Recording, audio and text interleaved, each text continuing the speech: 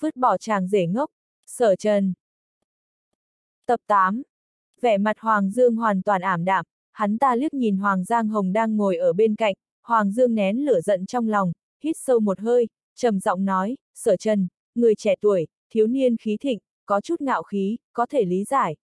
Tuy nhiên, tôi khuyên cậu một câu cứng quá dễ gãy, sống chết nhà họ Tống, tất cả nằm trong tay cậu. Tôi có thể khống chế sinh tử của nhà họ Tống, đó là vinh dự của tôi. Sở Trần cười, bình tĩnh đáp lại. Mọi người trong nhà họ Tống đều như sắp khóc. Sở Trần, tên ngốc này rốt cuộc muốn thế nào? Hoàng Dương đã nói rõ ý của mình đến mức này. Sinh tử của nhà họ Tống đều nằm trong tay một mình Sở Trần. Tuy rằng bọn họ không hiểu vì sao Hoàng Dương lại đột nhiên gọi cuộc gọi này, nhưng cuộc gọi đến đã tương đương với việc nhà họ Hoàng đã nhượng bộ một bước. Đây đối với với nhà họ Tống mà nói, vốn nên là thiên đại kinh hỉ. Tống Trường Thanh rất hối hận khi giao quyền lực của nhà họ Tống cho Sở Trần, lúc này đối thoại với Hoàng Dương cũng chỉ có Sở Trần mà thôi. Tống Nhan nhìn Sở Trần, điều mà cô đột nhiên nghĩ là Sở Trần vừa nói sẽ tiếp quản nhà họ Tống cho đến khi sóng gió qua đi, chẳng lẽ vì từ lâu đã chờ đợi nhà họ Hoàng sẽ nhượng bộ sao? Chỉ là Sở Trần có vẻ không coi trọng bước rút lui này của nhà họ Hoàng. Hoàng Dương bụng đầy tức giận, liền đè xuống, tay cầm điện thoại thậm chí còn hơi run. Hoàng Giang Hồng lúc này cũng rất ngạc nhiên, cau mày. Tuy nhiên, ông ta không nói gì. Sở Trần đã gây rắc rối với nhà họ Hoàng và dạy cho Hoàng Ngọc một bài học, điều này đã chạm đến ranh giới của ông ta. Theo suy nghĩ của Hoàng Giang Hồng, Sở Trần không có tư cách để nói chuyện với ông ta. Hoàng Giang Hồng liếc nhìn Hoàng Dương. Hoàng Dương hiểu ý của Hoàng Giang Hồng, hít sâu một hơi, chậm rãi nói, nhà họ Hoàng chúng ta cũng không muốn đuổi tận giết tuyệt, Sở Trần, chuyển lời tới Tống Trường Thanh, người nhà họ Tống hướng nhà họ Hoàng thành khẩn nhận sai lầm, như vậy, nhà họ Hoàng sẽ hủy bỏ lệnh phong sát, nếu không, tuyệt đối sẽ không hủy bỏ. Sở Trần vội ngắt lời, rất tốt, Hoàng đại gia, ngài tiếp tục đi. Trong phòng khách nhà họ Tống, mọi người đều bị hóa đá. Ngây ra như phỗng, chuyện hay luôn có tại TAU huyền MTAUIE nặng N.vn, những lời của sở trần khiến bọn họ không kịp phản ứng. Hơn nữa, sở chờ ngay lúc vừa nói xong, trực tiếp cúp điện thoại của Hoàng Dương. Đã hạ quyết tâm muốn phong sát nhà họ Tống, vậy thì không nên thay đổi xoành xoạch. Sở Trần lắc đầu tự nhủ, nhà họ Hoàng làm việc thật không có quy tắc. Tống Thiên Dương ảo não đến phát khóc, hai mắt nhìn chằm chằm sở Trần, thoáng này, hắn có loại muốn bóp chết sở chờ đồng quy vu tận. Nếu nhà họ Hoàng dỡ bỏ lệnh phong sát vào lúc này, nhà họ Tống sẽ có cơ hội thở phào và thoát khỏi kiếp nạn này. Nhưng sở trần căn bản lại không cảm kích chút nào, còn muốn nhà họ Hoàng tiếp tục công kích, hạ thấp mình một chút thì sẽ chết sao. Tống Thiên Dương cảm thấy nội tâm mình gặp phải đả kích, nhưng đã quá muộn để ngăn cản sở trần. Tiểu Trần, làm sao cậu biết nhà họ Hoàng sẽ nhượng bộ? Hạ Bắc lúc này mới hỏi. Còn nữa, cậu chắc chắn rằng nhà họ Hoàng sẽ còn nhượng bộ hết lần này đến lần khác. Vẻ mặt của Hạ Ngôn Hoan có chút khó tin, nếu không, lúc nãy hẳn là cậu đã chấp nhận điều kiện của nhà họ Hoàng, nói lời xin lỗi, liền có thể cứu nhà họ Tống khỏi một kiếp nạn. Tuy nhiên, Hạ Ngôn Hoan vắt óc và không thể nghĩ ra lý do tại sao nhà họ Hoàng lại nhượng bộ. Người nhà họ Tống đều dùng ánh mắt kinh ngạc và tò mò nhìn sở trần. Cuộc điện thoại vừa rồi của Hoàng Dương vượt xa sự dự liệu của tất cả bọn họ. Sở Trần, vừa rồi đáng lẽ cậu nên đáp ứng với Hoàng Dương. Tô Nguyệt cảm thán, để nhà họ Tống có thể tồn tại ở Thiền Thành, cho dù cả nhà chúng ta có tới để xin lỗi nhà họ Hoàng, cái đó cũng có thể đi. Nhà họ Hoàng là gia tộc giàu có số một ở Thiền Thành, hướng nhà họ Hoàng cúi đầu cũng không phải chuyện mất mặt gì. Thế nên vừa rồi tôi mới nói tiếp quản nhà họ Tống. Sở Trần nhìn sang Tống Trường Thanh, nếu vừa rồi người nghe là Tống Trường Thanh, nhất định sẽ đáp ứng điều kiện của Hoàng Dương. Đồng tử Tống Trường Thanh hơi co lại. Hồi lâu, Tống Trường Thanh nói, Sở Trần, cậu thật sự chắc chắn nhà họ Hoàng sẽ không đuổi tận giết tuyệt. Tôi nói rồi, đây đối với nhà họ Tống, là một cái kỳ ngộ. Sở Trần bình tĩnh ngồi nói, còn nữa, kỳ ngộ này sẽ do đích thân nhà họ Hoàng dâng lên, nếu bây giờ chúng ta đồng ý với điều kiện của nhà họ Hoàng, thì chúng ta không chỉ phải cúi đầu trước nhà họ Hoàng, hơn nữa, lần sóng gió này đã khiến cho nhà họ Tống chịu tổn thất nặng nề, tôi làm sao có khả năng sẽ đáp ứng với nhà họ Hoàng chấm dứt lệnh phong sát. Khóe miệng sở trần hơi nhếch lên lạnh lùng, nhà họ Hoàng phong sát càng mạnh, cái giá cuối cùng bọn họ phải trả sẽ càng cao. Còn có, sở trần nhấp một ngụm trà, tôi đã nói trước mặt tiểu thu rằng Hoàng Ngọc phải đưa ra lời xin lỗi trên báo của Thiền Thành, nếu không, chuyện này sẽ không bao giờ dừng lại. Lời nói của sở trần thể hiện sự tự tin mạnh mẽ.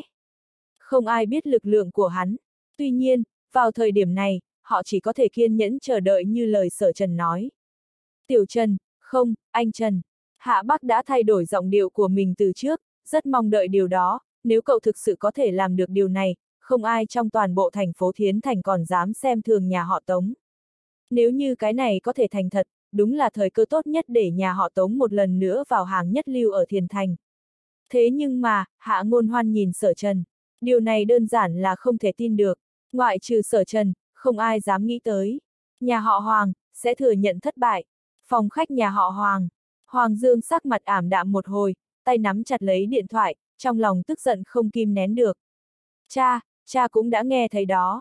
Hoàng Dương lúc cuối cuộc điện thoại có ấn nút loa ngoài, Hoàng Giang Hồng có thể nghe rõ lời nói của sở trần. Cha muốn dỡ lệnh phong sát nhà họ Tống, nhưng bọn họ không cảm kích. Hoàng Dương trầm giọng nói, trận phong sát này đối với nhà họ Hoàng có trăm lợi mà không có hại gì, mà lại toàn bộ tình huống, nhà họ Hoàng nắm chắc trong tay, sở trần có tư cách gì nói ra những lời này. Audio điện tử võ tấn bền. Hắn muốn cả nhà họ Tống biến mất đồng thời cùng hắn sao? Vẻ mặt của Hoàng Giang Hồng cũng lóe một tia tức giận lạnh lùng. Giọng điệu lỗ mãng của sở trần dường như ăn chắc nhà họ Hoàng. Nhưng trên thực tế, rõ ràng nhà họ Hoàng mới là người chiếm thế thượng phong. Thiếu niên khí thịnh, Hoàng Giang Hồng lắc đầu và chậm rãi nói, đã như vậy, tiếp tục phong sát, cả nhà họ Tống và hắn sẽ học được một bài học lớn. Nhưng, khống chế một chút, chúng ta không thể để nhà họ Tống biến mất tại thiền thành. Hoàng Giang Hồng đứng lên, đây đã là danh giới cuối cùng của hắn. Con hiểu rồi, Hoàng Dương gật đầu, ánh mắt lóe lên một tia lạnh lùng, vậy mà trên đời này thật sự có loại người ngu ngốc như vậy, rượu mời không uống mà thích uống rượu phạt. Hoàng Giang Hồng trở lại phòng làm việc, sau khi cân nhắc một lúc, Hoàng Giang Hồng lấy điện thoại di động ra và gọi điện. Tinh la tiểu điếm, di động của Mạc Nhàn vang lên, tiểu vô ưu cầm điện thoại lên nhìn thoáng qua, là Hoàng lão gia. Tiêu vô ưu đối với cách làm việc của nhà họ Hoàng cũng không vừa mắt. Ta ngược lại là muốn biết, Hoàng lão gia, sẽ xử lý chuyện này như thế nào? Mạc Nhàn trả lời điện thoại. Lão Nhàn, tôi không biết chuyện nhà họ Tống bị phong sát. Hoàng Giang Hồng nói thẳng vào vấn đề, nhỏ giọng nói, bất quá, vừa rồi tôi đã bảo Hoàng Dương gọi điện thoại tới, bảo sở Trần nói lời xin lỗi, sự việc liền cho qua, chỉ là, sở Trần kia không những không cảm kích mà còn nói thẳng, để cho nhà họ Hoàng tiếp tục phong sát. Một thanh niên lỗ mãng ương ngạnh như thế, vào ngày lễ đoạt thanh hôm đó, coi như tôi nhìn lầm. Đôi mắt Mạc Nhàn hơi nheo lại.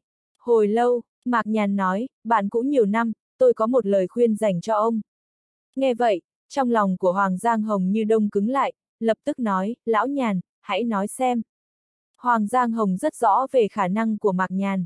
Chuyện này hãy thử truy ngược nguồn gốc, giải quyết mâu thuẫn ngay từ ban đầu, đó mới là biện pháp tốt nhất. Mạc Nhàn nói, nhà họ Hoàng đã phong sát nhà họ Tống, sau đó lại dùng tư thế cao cao tại thượng yêu cầu nhà họ Tống và Sở Trần nói lời xin lỗi, sự tình liệu sẽ kết thúc sao? E rằng, Sở Trần sẽ không đồng ý. Mạc Nhàn cúp điện thoại, âm thanh tút tút của điện thoại liên tục vang lên. Hoàng Giang Hồng hơi cau mày. Sở Trần không đồng ý.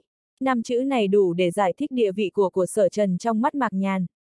Hoàng Giang Hồng không hiểu tại sao trong mắt Mạc Nhàn lại đánh giá Sở Trần cao như vậy. Chỉ là, nhà họ Hoàng làm sao có thể cúi đầu trước Sở Trần. Hoàng Giang Hồng lắc đầu, huống chi, vẫn là Sở Trần làm việc vô lý trước, đại náo nhà họ Hoàng, cũng không để nhà họ Hoàng vào trong mắt. Hoàng Giang Hồng cầm bút lên viết, trên bàn liền viết hai chữ, hào môn. Vào lúc này, cơ thể Hoàng Giang Hồng tràn ngập một luồng khí độc đoán bá đạo nhiều thế hệ nhà họ Hoàng luôn cố gắng, để nhà họ Hoàng vững vàng chiếm lấy danh hiệu gia đình giàu có số một ở Thiền Thành. Tuyệt đối không thể vì lời nói của Mạc nhà mà thay đổi tất cả những điều này. Lão nhàn, ông cũng sẽ có ngày nhìn lầm. Hoàng Giang Hồng thì thào tự nhủ, coi như không lầm, nhưng, nhà họ Hoàng cũng không thể bị xem thường. Hoàng Giang Hồng buông tay đặt bút xuống. Nhà giàu có số một ở Thiền Thành Nhao có thể lay chuyển bởi một người thanh niên. Cơn bão tại thành phố Thiền Thành vẫn chưa tan. Gần như toàn bộ giới thương nhân Thiền Thành đều đang bàn tán chuyện nhà họ Tống bị nhà họ Hoàng phong sát. Phàm là những dự án kinh doanh liên quan đến nhà họ Tống, không ai dám động đến, dù chỉ là một chút liên quan vì sợ bị ảnh hưởng. Thậm chí, nhiều người thà chịu thiệt thòi cũng phải cắt đứt liên lạc với nhà họ Tống. Họ Tống bây giờ chính là ôn thần ở Thiền Thành. Nói đến đây, nhà họ Tống quả thật là xui xẻo, thực sự đã trêu chọc nhà họ Hoàng, thử hỏi Thiền Thành, có ai dám đắc tội đến nhà họ Hoàng. Tôi nghe nói rằng tên ở rể nhà họ Tống đã tới nhà họ Hoàng đắc tội, vẫn là hai người con rể còn lại khôn ngoan, vào thời điểm mấu chốt, họ cũng dứt khoát vạch ranh giới với nhà họ Tống, ở lợi ích trước mắt, loại quan hệ thân gia này quá mức yếu đuối. Tất cả đều đang thảo luận về sự kiện tiêu điểm này. Nhiều người đang phân tích và suy luận xem dưới tình hình hiện tại thì nhà họ Tống có thể chống đỡ được bao nhiêu ngày. Hầu như tất cả đều kết luận, nhà họ Tống không thể tồn tại trong một tuần. Cơn bão dữ dội ập xuống nhà họ Tống. Căn biệt thự của nhà họ Tống trùm trong bóng đen, tư liệu chất đống trên bàn ngày càng cao. Tình cảnh mà nhà họ Tống gặp phải càng ngày càng bi đát. Mọi người trong nhà họ Tống đều chờ đợi động thái tiếp theo của sở trần. Vẻ mặt của sở trần vẫn bình tĩnh và điềm đạm. Hạ Bắc cố nén lại mấy lần ý muốn cậy miệng sở trần. Sốt cuộc, hắn biết mình không khuất phục được sở trần. Tuy nhiên, sự chờ đợi lâu như vậy thực sự rất mệt mỏi. Đặc biệt, Hạ Bắc tin chắc rằng sở trần sẽ có biện pháp hóa giải thảm họa chết chóc này cho nhà họ Tống. Một đêm nữa trôi qua, sở trần mở cửa với nụ cười trên mặt, nhìn Tống Nhan đang ngồi trên sofa trong phòng khách nhỏ, một đôi chân thon dài khiến sở trần chú ý. Buổi sáng chim khách đang không ngừng kêu gọi, ngày hôm nay nhất định có chuyện tốt xảy ra. Sở trần cười tủm tỉm đi tới, nhịn không được liếc nhìn hai chân của vợ. Tống Nhan không để ý ánh mắt sở trần, ngẩng đầu liếc mắt nhìn sở trần trắng bệch, nhà họ Tống khi nào lại xuất hiện chim khách. Bà xã à, tinh thần em không tốt lắm, tối hôm qua em ngủ không ngon sao. Sở trần ngồi xuống chiều mến nói, nào, để ông xã đấm bóp cho gạch dưới, giấu lớn em. Tống Nhan đê tránh, tôi xem cả nhà họ Tống, chắc chỉ có anh mới có thể ngủ ngon. Sở Trần cười, anh vừa rồi nói, hôm nay chim khách kêu gọi rồi. Tống Nhan con người hơi co lại, nhìn chằm chằm Sở Trần. Cô cũng có cảm giác giống như Hạ Bắc, cảm thấy Sở Trần có bài tẩy chưa lộ ra. Tuy nhiên, đối phương là nhà họ Hoàng, bọn họ thực sự không thể tưởng tượng được Sở Chờ còn có con bài tẩy nào để có thể áp đảo được nhà họ Hoàng và giải quyết thảm họa này. Trong bữa cơm trưa, người nhà họ Tống háo hức nhìn Sở Trần. Sở Trần liếc mắt nhìn thời gian, trong vòng 2 tiếng nữa, điện thoại của nhà họ Hoàng sẽ gọi lại. Giọng điệu kiên quyết của Sở Trần khiến tất cả mọi người đều sửng sốt. Sở Trần rõ ràng chẳng hề làm gì, dựa vào cái gì mà khẳng định nhà họ Hoàng sẽ gọi lại lần nữa. Tống Trường Thanh lấy điện thoại di động ra, đặt ở trên bàn. Mọi ngõ y đều nén lo lắng và chờ đợi.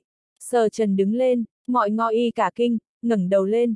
Sở Trần ho nhẹ một tiếng, mọi người không cần căng thẳng quá mức, tôi chỉ vào xem tiểu thu.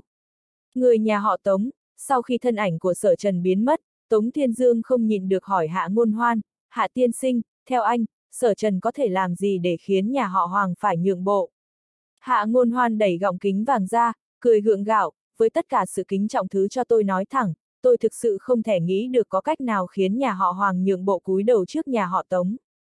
Bọn họ luôn cảm giác sở trần đang suy nghĩ hão huyền. Tuy nhiên, nhà họ Tống đã đến tình cảnh này rồi, trong sâu thẳm nội tâm, họ chỉ có thể mơ hồ hy vọng rằng ý nghĩ bất chợt của sở trần sẽ trở thành hiện thực. Sở trần bước vào phòng, nhìn thấy tay Tống Thu đang nắm chặt điện thoại, tức giận run lên, không khỏi bước tới, tiểu thu, an tâm chớ nóng vội, hôm nay anh rể nhất định sẽ cho em tin tức tốt, nhà họ Hoàng còn không thể đè đầu cưới cổ chúng ta. Tống Thu lấy lại tinh thần, khẽ thở dài một hơi, nhà họ Hoàng là gia tộc giàu có số một ở Thiền Thành. Dưới sự đàn áp của nhà họ Hoàng, nhà họ Tống chỉ có thể thuận theo ý trời, em cũng không để ý, cho dù nhà họ Tống có không còn, em cùng người nhà vẫn còn, một ngày nào đó, em sẽ để cho nhà họ Tống một lần nữa đông sơn tái khởi. Việc em tức giận là quán chủ cuối cùng đã thua. Mấy chữ cuối cùng nói xong, Tống Thu nghiến răng nghiến lợi. Sở Trần cũng khá ngạc nhiên. Hôm qua, chỉ nghe Tống Thu nói rằng Bắc quyền Triệu Sơn sẽ khiêu chiến với quán chủ tinh anh quyền quán, Tống Thu đối với tinh anh quyền quán có sự tin tưởng tuyệt đối. Không ngờ, quán chủ của tinh anh quyền quán cũng thua cuộc. Sở Trần nói, tên Bắc quyền Triệu Sơn kia dường như có chút thực lực.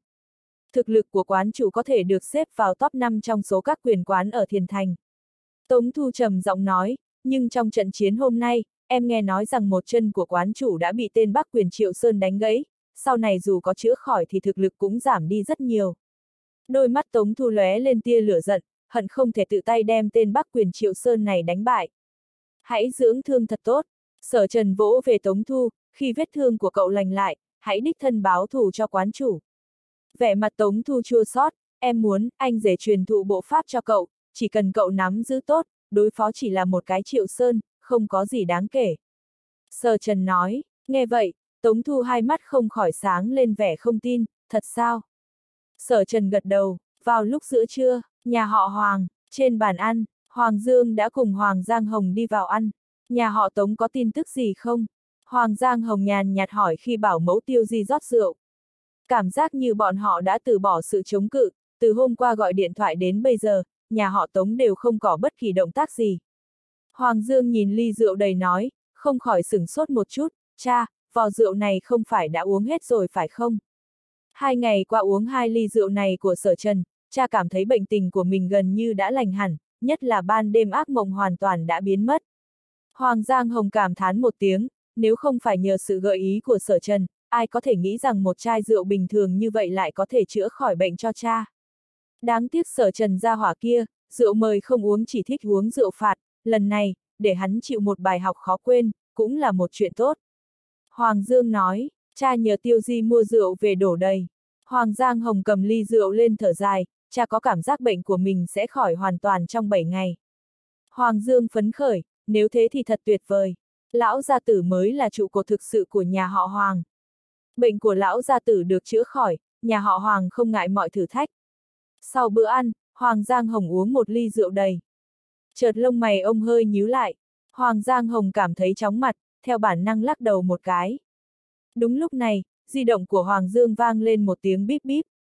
Hoàng Dương lấy điện thoại ra liếc, trên mặt nở nụ cười, tin tức từ nhà họ Diệp, những sai lầm lớn của nhà họ Tống trong việc hợp tác ba bên sẽ phải đối mặt với số tiền bồi thường gần 5 triệu. Số tiền này đối với nhà họ Tống lúc bình thường không có gì đáng nói, tuy nhiên, nhà họ Tống bây giờ khó khăn tứ phương, bất cứ khoản tiền nào cũng có thể trở thành cọng rơm cuối cùng đè bẹp nhà họ Tống. Cha, Hoàng Dương ngẩng đầu, khuôn mặt nở nụ cười đột nhiên ngưng kết, nhanh chóng đứng lên, cha, cha không khỏe sao? Hoàng Giang Hồng đưa tay giữ lấy cái bàn, trên trán toát ra mồ hôi lạnh. Tiêu Di, mau gọi bác sĩ. Hoàng Dương vội vàng chạy tới, đỡ Hoàng Giang Hồng. Sau khi Hoàng Giang Hồng đi chậm lại một lúc, ông ta kìm nén cơn choáng váng trong đầu và ngồi xuống một lần nữa. Cha, cha thấy thế nào? Hoàng Giang Hồng thở phào nhẹ nhõm, nhưng cảm giác mệt mỏi trên người cũng không đỡ chút nào. Cha lại có cảm giác giống như gần đây, toàn thân không làm được gì, cảm giác thân thể rất yếu, dường như có thể ngất đi bất cứ lúc nào. Khuôn mặt của Hoàng Giang Hồng hoàn toàn tái nhật, chuyện này làm sao có thể. Hoàng Dương có chút gấp gáp, lão nhân gia nhà họ Hoàng chính là trời của nhà họ Hoàng. Thật vất vả để được thấy tình trạng của lão gia tử được cải thiện, tâm trạng vui vẻ, không ngờ sau bữa ăn, lão gia tử lại tái phát bệnh. Hoàng Dương ánh mắt rơi vào trên ly rượu trống không, không khỏi thốt lên, chẳng lẽ là bởi vì loại rượu này. Hoàng Dương tức giận, còn sợ rằng tiểu tử sở trần kia từ trước đến nay không có lòng tốt. Rượu hôm nay cha uống đều là do tiêu di mua từ bên ngoài về, không thể trách sở trần được. Hoàng Giang Hồng cũng nhìn chằm chằm vào ly rượu, nhưng mà, cùng một loại rượu, cùng một mùi vị, Hoàng Giang Hồng không thể nghĩ ra bất kỳ sự khác biệt nào. Hoàng Giang Hồng lắc đầu thở dài, có lẽ tác dụng chữa bệnh của loại rượu này chỉ được hai ngày.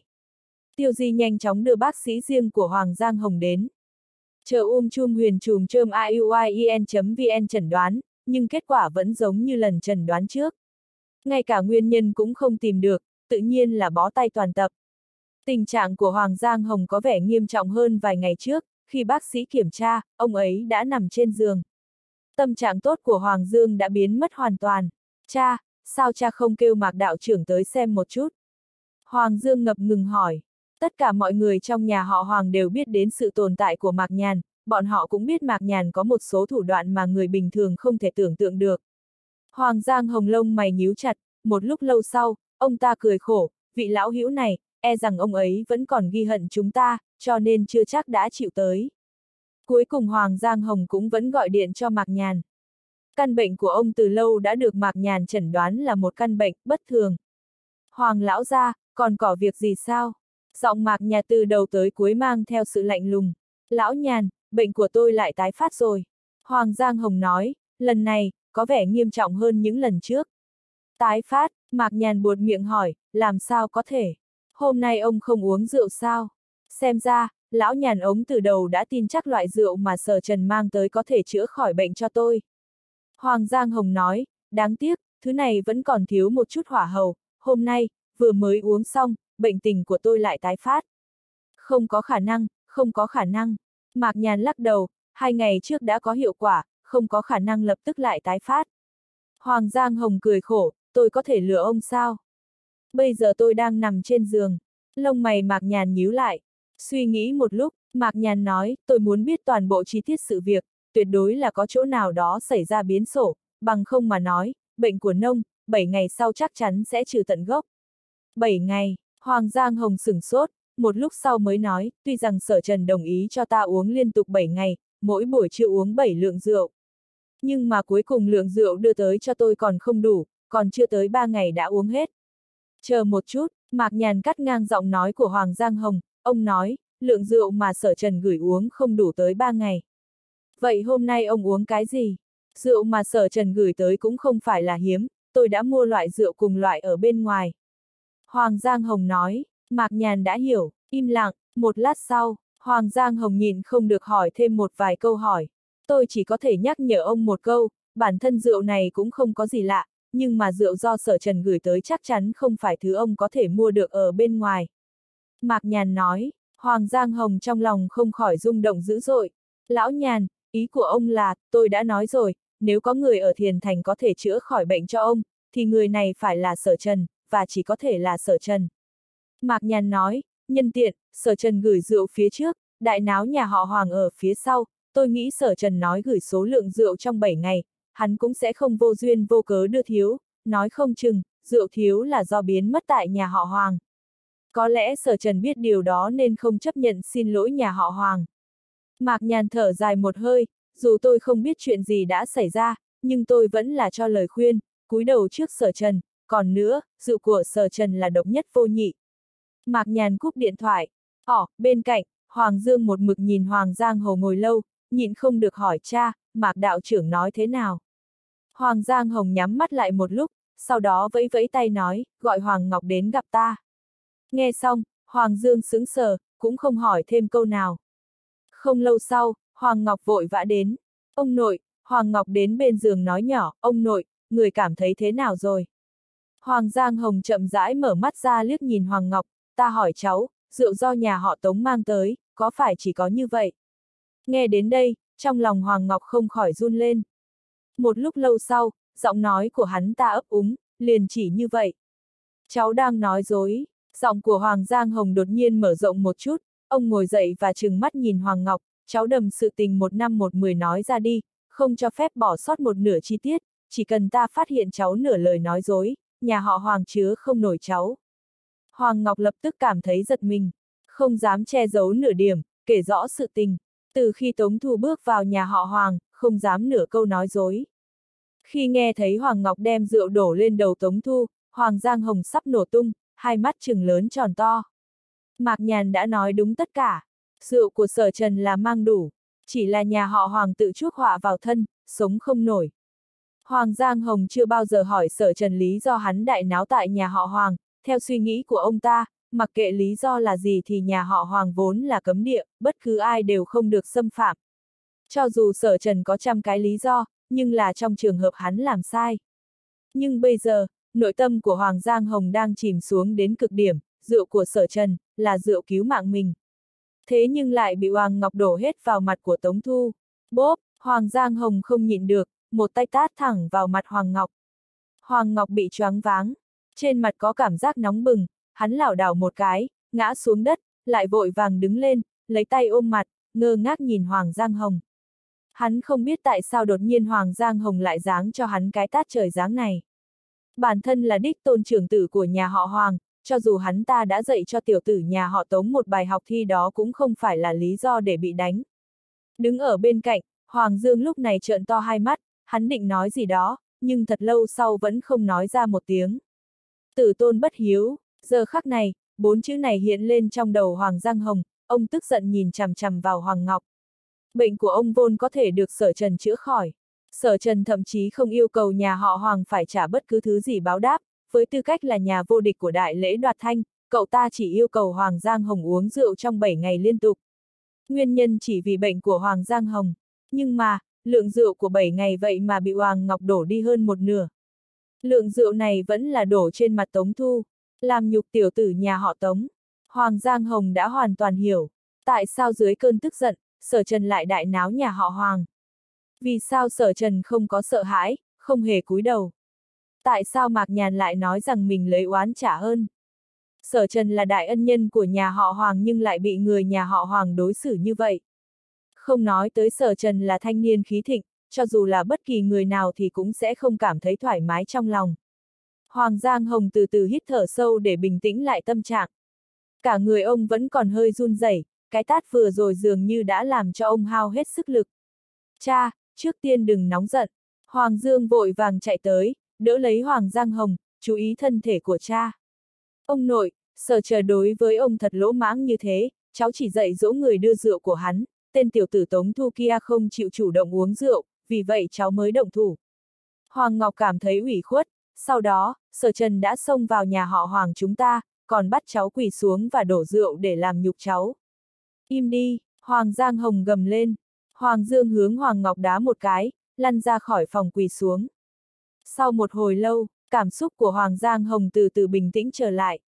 Nằm ở trên giường, Hoàng Giang Hồng mở mắt ra, nhìn chằm chằm vào phía trên, chậm rãi nói, bây giờ con đã biết tại sao sở trần không chấp nhận những gì con nói ngày hôm qua, muốn cùng nhà họ Hoàng cứng rắn đến cùng.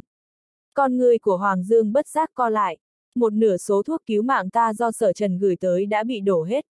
Hoàng Giang Hồng nói, toàn bộ chuyện này đều bởi vì cái này mà ra.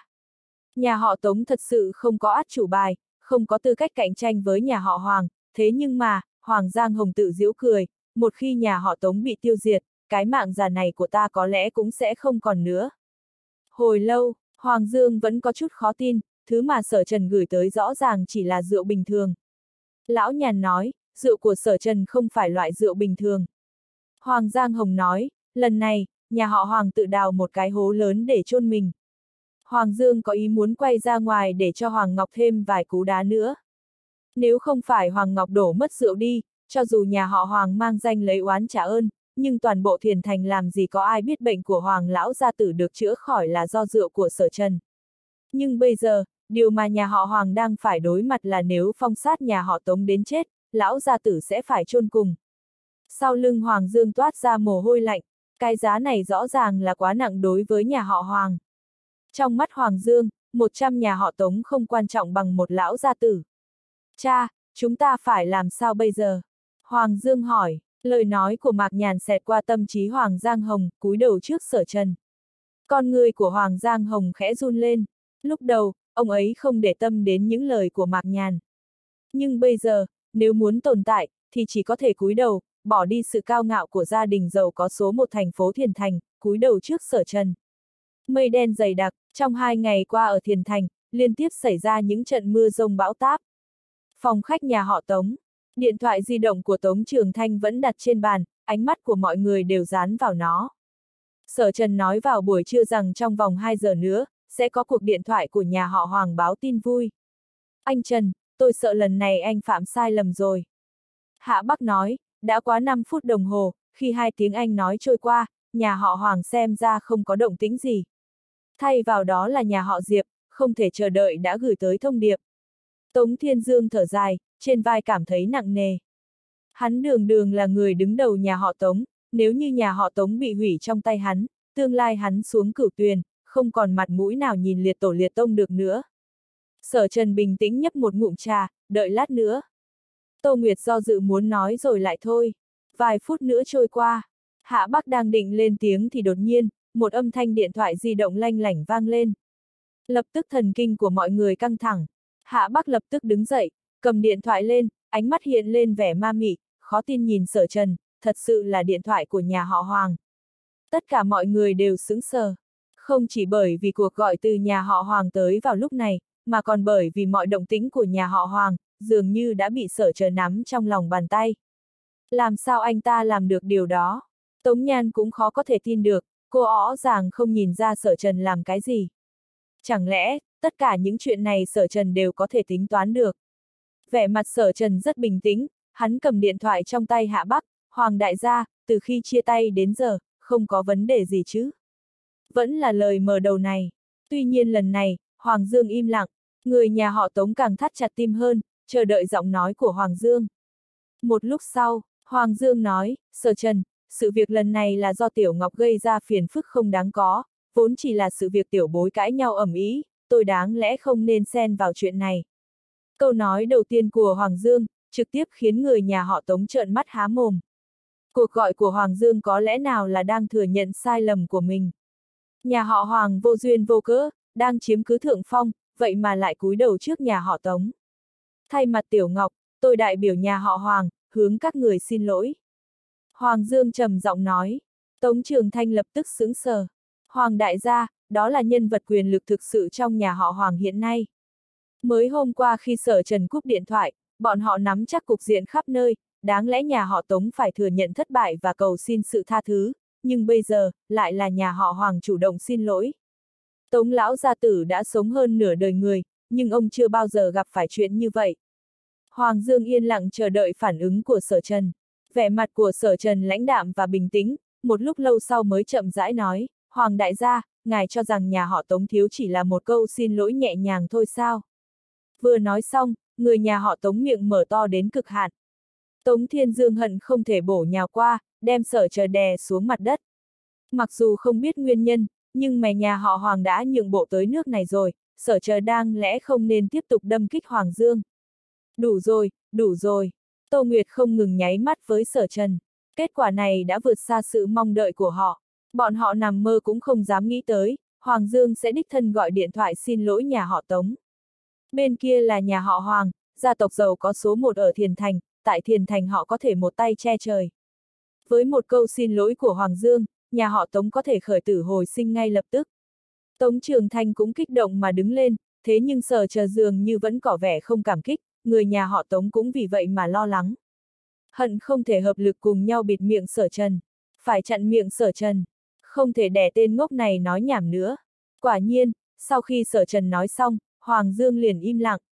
Tống Thiên Dương gấp đến sắp chết, hắn có thể đoán trước được rằng Hoàng Dương sẽ vì những lời nói này của sở trần mà nổi trận lôi đình.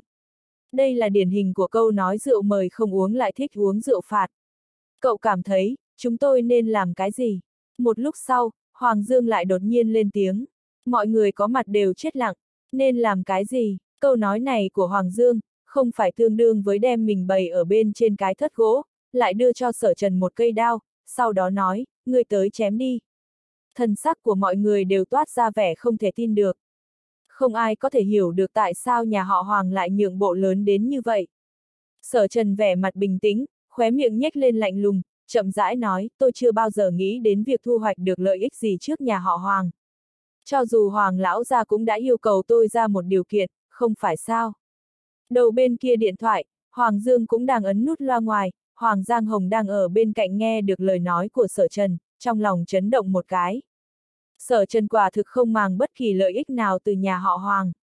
Thậm chí, sở trần đưa ra yêu cầu kia, xét đến cùng, cũng là đang chữa bệnh cho ông. Sở Trần đối với nhà họ Hoàng, thực sự có đại ân. Thế mà nhà họ Hoàng, ở một khía cạnh nào đó, đang coi sở trần như kẻ lòng lang dạ sói. Như Mạc Nhàn đã nói, hắn chính là nhà quý nhân của Hoàng Giang Hồng. Tống Thu là người nhà của tôi. Sở Trần lại nói, hắn bị làm nhục, tỏi sẽ thay hắn cầm về, tôi cũng không quan tâm thân phận của đối phương. Sở Trần trong miệng nói mỗi lời mỗi chữ, đối với mọi người nhà họ Tống suy nghĩ, đều phảng phất là đang nhảy lên mũi đao. Họ có cảm giác rằng Hoàng Dương sẽ nổi trận lôi đình bất cứ lúc nào vì những lời nói của Sở Trần, sau đó sẽ dùng những biện pháp bạo lực hơn để đối phó với nhà họ Tống. Hãi hùng khiếp phía, giờ phút này, trong mắt người nhà họ Tống, Sở Trần như trở thành một người khác, ngồi trên sofa, trên trán phát ra ánh quang. Nhà họ Tống sẽ không tiếp nhận một câu xin lỗi nhẹ nhàng, hoặc là nhà họ Hoàng tiếp tục phong sát, hoặc là, sở chờ dừng một chút. Thứ nhất, những tổn thất mà nhà họ Tống phải gánh chịu vì lệnh phong sát này, toàn bộ sẽ do nhà họ Hoàng gánh chịu. Ngay khi vừa nói xong, Tống Trường Thanh và những người khác không khỏi kinh hô lên. Điên sở trần tên ngốc này càng nói chuyện càng trở nên điên cuồng. Nhà họ Hoàng đã lùi một bước dài, cái này truyền ra ngoài đã đủ để dung chuyển toàn thành phố. Nhưng sở trần, còn thấy vẫn chưa đủ. Hắn còn muốn được voi đòi tiên, còn ngại không đủ, nhà họ Hoàng làm sao sẽ gánh những tổn thất của nhà họ Tống. Hơn nữa, tổn thất của nhà họ Tống lần này cũng không phải là một con số nhỏ. Nhà họ Hoàng dựa vào cái gì sẽ đồng ý? Sở Trần, Tống Thiên Dương khóe môi đang run lên. Hắn sợ rằng cái không biết chừng mực của Sở Trần sẽ hoàn toàn chọc giận nhà họ Hoàng. Đầu bên kia điện thoại, Hoàng Dương trầm mặc một lát, mới chậm rãi nói, còn có điều kiện thứ hai sao? Nghe vậy, Tống Thiên Dương đột nhiên ngã ngồi trên sofa. Đầu óc hắn hoàn toàn hoang mang, cảm giác như thế giới này đột ngột thay đổi. Câu nói của Hoàng Dương đồng nghĩa với việc nhà họ Hoàng có thể đồng ý với điều kiện đầu tiên.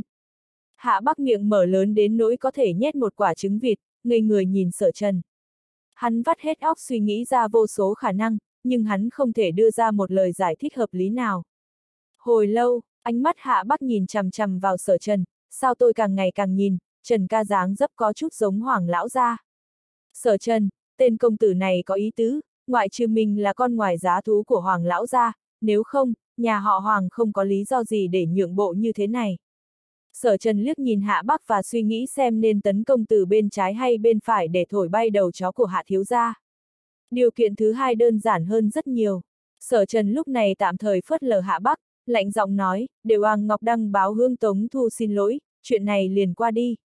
Bên ngoài trời đang mưa to, trong phòng khách mọi người đều hóa đá. Hoàng Ngọc, trước mặt toàn thành phố, đăng một lời xin lỗi trên báo.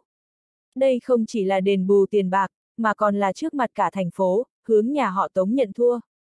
Hoàng Ngọc Thân là con trai cả của trưởng tử nhà họ Hoàng. Sở trần thế mà lại còn dám đề ra điều kiện điên cuồng như vậy, không sự nhà họ Hoàng sẽ lập tức nổi giận sao. Vẻ mặt của hạ ngôn hoan ngốc trệ, cho dù hắn là người nhà họ hạ ở Dương Thành, hiểu biết rộng, thường xuyên gặp sóng to gió lớn, nhưng hắn chưa bao giờ gặp phải tình huống như hôm nay. Tống Thiên Dương cảm thấy trái tim nhỏ bé của mình sắp ngừng đập. Cậu con rể này, mỗi câu nói câu nào cũng kinh thiên động địa. Lời nói cứ phải làm cho người ta kinh ngạc đến chấn động. Sở Trần nói xong liền đặt điện thoại di động trở lại trên bàn, không vội mà bình tĩnh nhấp một ngụm trà. Tống Nhan liếc nhìn Sở Trần. Giờ phút này, sự tự tin trên người Sở Trần hoàn toàn khác hẳn với hình ảnh lỗ mãng lúc trước khi hắn trả lời điện thoại. Nhà họ Hoàng không có ngay lập tức từ chối hoặc tức giận, điều này cho thấy rằng điều kiện của Sở Trần đang được bên kia xem xét. Làm sao anh ta làm được điều đó? Đầu bên kia điện thoại, một lúc sau mới vang lên giọng nói của Hoàng Dương, điều kiện đầu tiên, tôi có thể đồng ý với cậu. Hoàng Dương nói, nhà họ Hoàng có thể thông báo hủy bỏ lệnh phong sát với nhà họ Tống, đồng thời, về phương diện hợp tác các hạng mục, sẽ cho nhà họ Tống nguồn tài nguyên tốt nhất, theo tôi nghĩ, đủ để bù đắp cho những tổn thất của nhà họ Tống trong những ngày qua. Còn điều kiện thử hai, Hoàng Dương dừng lại, sau đó trầm giọng nói, tôi có thể yêu cầu Tiểu Ngọc đến tận cửa và xin lỗi Tống Thu. Xin lỗi trên các tờ báo trên toàn thành phố, điều này tương đương với việc lưu lại một dấu ấn nhục nhã sâu sắc. Nhà họ Hoàng thật khó tiếp thu. Tuy nhiên, những lời này của Hoàng Dương khiến mọi người kinh ngạc đến ngây người. Bồi thường tổn thất và tới tận cửa xin lỗi. Nhà họ Hoàng đã có thể làm đến nước này. Đây đã là bày một dáng vẻ rất thấp. Hạ ngôn hoan thậm chí còn có loại ảo giác, trong lần phong sát này là nhà họ Hoàng phong sát nhà họ Tống, hay là nhà họ Tống phong sát nhà họ Hoàng. Tại sao cuối cùng nhà họ Hoàng lại phải bồi thường và xin lỗi? Điều này, quá mức hoang đường đi. Hai tay của Tống Trường Thanh vẫn đang run, ông ấy vô cùng kích động. Trước khi cuộc điện thoại này gọi đến, bọn họ vẫn còn đang lo lắng không biết nhà họ Tống có thể còn trụ được bao lâu. Nhưng hiện tại, nhà họ Hoàng đã hứa sẽ bồi thường, đồng thời sẽ yêu cầu Hoàng Ngọc phải đến tận cửa nhà để xin lỗi. Nếu tất cả những điều này trở thành sự thật, như Sở Trần đã nói, trận phong ba này, ngược lại sẽ là cơ hội lớn cho nhà họ Tống. Với sự hỗ trợ và bồi thường của nhà họ Hoàng, nhà họ Tống sẽ sớm có thể trở lại hạng nhất lưu ở Thiền Thành. Sở Trần, còn không mau đáp ứng đi. Tô Nguyệt vội vàng thúc giục, vì sợ Hoàng Dương dây lát sẽ hối hận mà đổi ý. Sở Trần nói, thật có lỗi, Hoàng đại gia, tôi đưa ra điều kiện, không chấp nhận bất cứ cái gì có kẻ mặc cả. Nếu như ánh mắt có thể giết người, Sở Trần đã bị chém thành tám mảnh rồi. Thái độ hung hăng dọa người, không hề nhượng bộ của Sở Trần thậm chí ngay cả người trong nhà họ Tống cũng không nhịn được. Tống Thiên Dương vẻ mặt như khóc cầu xin, muốn mở miệng nhưng cổ họng lại bị chặn lại, chỉ có thể nhìn chằm chằm sở trần, hy vọng sở trần khi nhìn thấy sẽ thu mình lại. Trong toàn bộ thành phố Thiền Thành, ai dám nói ra những lời này với nhà họ Hoàng. Đây hoàn toàn là muốn nhà họ Hoàng phải hạ thấp mình. Nhà họ Hoàng làm sao có thể đáp ứng. Trong mắt Tống Trường Thanh và những người khác, việc Hoàng Dương có thể đồng ý bồi thường tổn thất và để Hoàng Ngọc đến cửa xin lỗi đã là một kỳ tích. Nhưng Sở Trần cảm thấy như vậy, vẫn còn chưa đủ. Sở Trần, đầu bên kia điện thoại, Hoàng Dương không khỏi tức giận quát to một tiếng. Thanh âm này giống như sấm sét, khiến Tống Thiên Dương không tự chủ được dùng mình một cái. Ông cũng là người quen nhìn sóng gió, nhưng lúc này tim lại vô thức đập rất nhanh, thậm chí có cảm giác não mình như thiếu dưỡng khí, có thể ngất xỉu bất cứ lúc nào. Ông lo lắng rằng Hoàng Dương sẽ nổi giận, sau đó, tất cả những gì hắn ta đã hứa sẽ biến mất, nhà họ Tống sẽ phải hứng chịu một cuộc tấn công như sấm sét từ nhà họ Hoàng. Tô Nguyệt tiếp tục nháy mắt với Tống Nhan. Lúc này, e rằng chỉ có lời nói của Tống Nhan thì sở chờ mới để vào tai. Tống Nhan nhìn sở trần, cô ấy không phát ra âm thanh. Trong tiềm thức của Tống Nhan, cô vẫn tin tưởng rằng sở trần có thể đã lường trước được tình huống này, vậy nên tất cả những diễn biến đã xảy ra vẫn đang nằm trong tầm kiểm soát của sở trần. Nếu ngươi làm sai, ngươi phải trả giá. Sở trần không bởi vì một chút thay đổi cảm xúc của Hoàng Dương mà thay đổi thái độ, nhẹ giọng nói, tôi không có ý tứ là đang nhắm vào nhà họ Hoàng, bởi vì, theo suy nghĩ của tôi, thân phận của cậu ta không phải trọng yếu. Nói cách khác, sở trần không có bất cứ cái gì kinh sợ về thân phận của Hoàng Ngọc.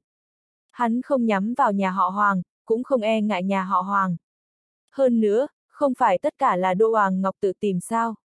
Sở Trần nói, cậu ta là người trưởng thành và nên trả giá cho những gì cậu ấy đã làm. Đầu bên kia điện thoại, Hoàng Dương rơi vào trầm mặc. Thái độ của sở trần khiến hắn có phần bất ngờ. Hái hoàn toàn không nghĩ tới, sở trần lại cường ngạnh đến mức không quan tâm đến thể diện của nhà họ Hoàng một chút nào. Yêu cầu đích tôn trường tử nhà họ Hoàng phải xin lỗi trên một tờ báo, cái này không khác gì cho nhà họ Hoàng một cái tát, có chút khó chấp nhận. Cho dù, toàn bộ chuyện đều là bởi vì Hoàng Ngọc mà ra. Nhà họ Hoàng có niềm kiêu ngạo của một vị vua ở thiền thành. Không bao giờ cúi đầu trước bất cứ ai. Hoàng Dương có thể tưởng tượng thiền thành sẽ chấn động như thế nào nếu nhà họ Hoàng tuyên bố một lời xin lỗi trên mặt báo. Bao nhiêu ánh mắt khác thường sẽ tập trung vào nhà họ Hoàng và nhà họ Tống. Sở Trần Hoàng Dương đè nén lửa giận trong lòng, chậm rãi nói, coi như là nhà họ Hoàng thiếu nợ cậu một cái ân tình đi. Nhà họ Tống có chút chết lặng, những lời nói của Hoàng Dương đã mang lại cho bọn họ quá nhiều rung động. Sở Trần rõ ràng đang hùng hồ dọa người, nhưng Hoàng Dương lại liên tiếp rút lui. Vừa rồi một tiếng, Sở Trần tràn đầy sự tức giận, nhưng cuối cùng vẫn là mạnh mẽ kiềm chế xuống. Bây giờ lại một điều kiện nữa được bổ sung thêm vào. Nhà họ Hoàng đã nhượng bộ lớn như vậy, vậy mà cuối cùng nhà họ Hoàng vẫn nợ Sở Trần một ân tình. Sở Trần trầm tư một hồi rồi nói, Hoàng đại gia, vừa rồi tôi đã nói rất rõ ràng rằng tôi không có nhầm vào thân phận của Hoàng Ngọc, vậy nên tôi không cần bất cứ ân tình gì cả.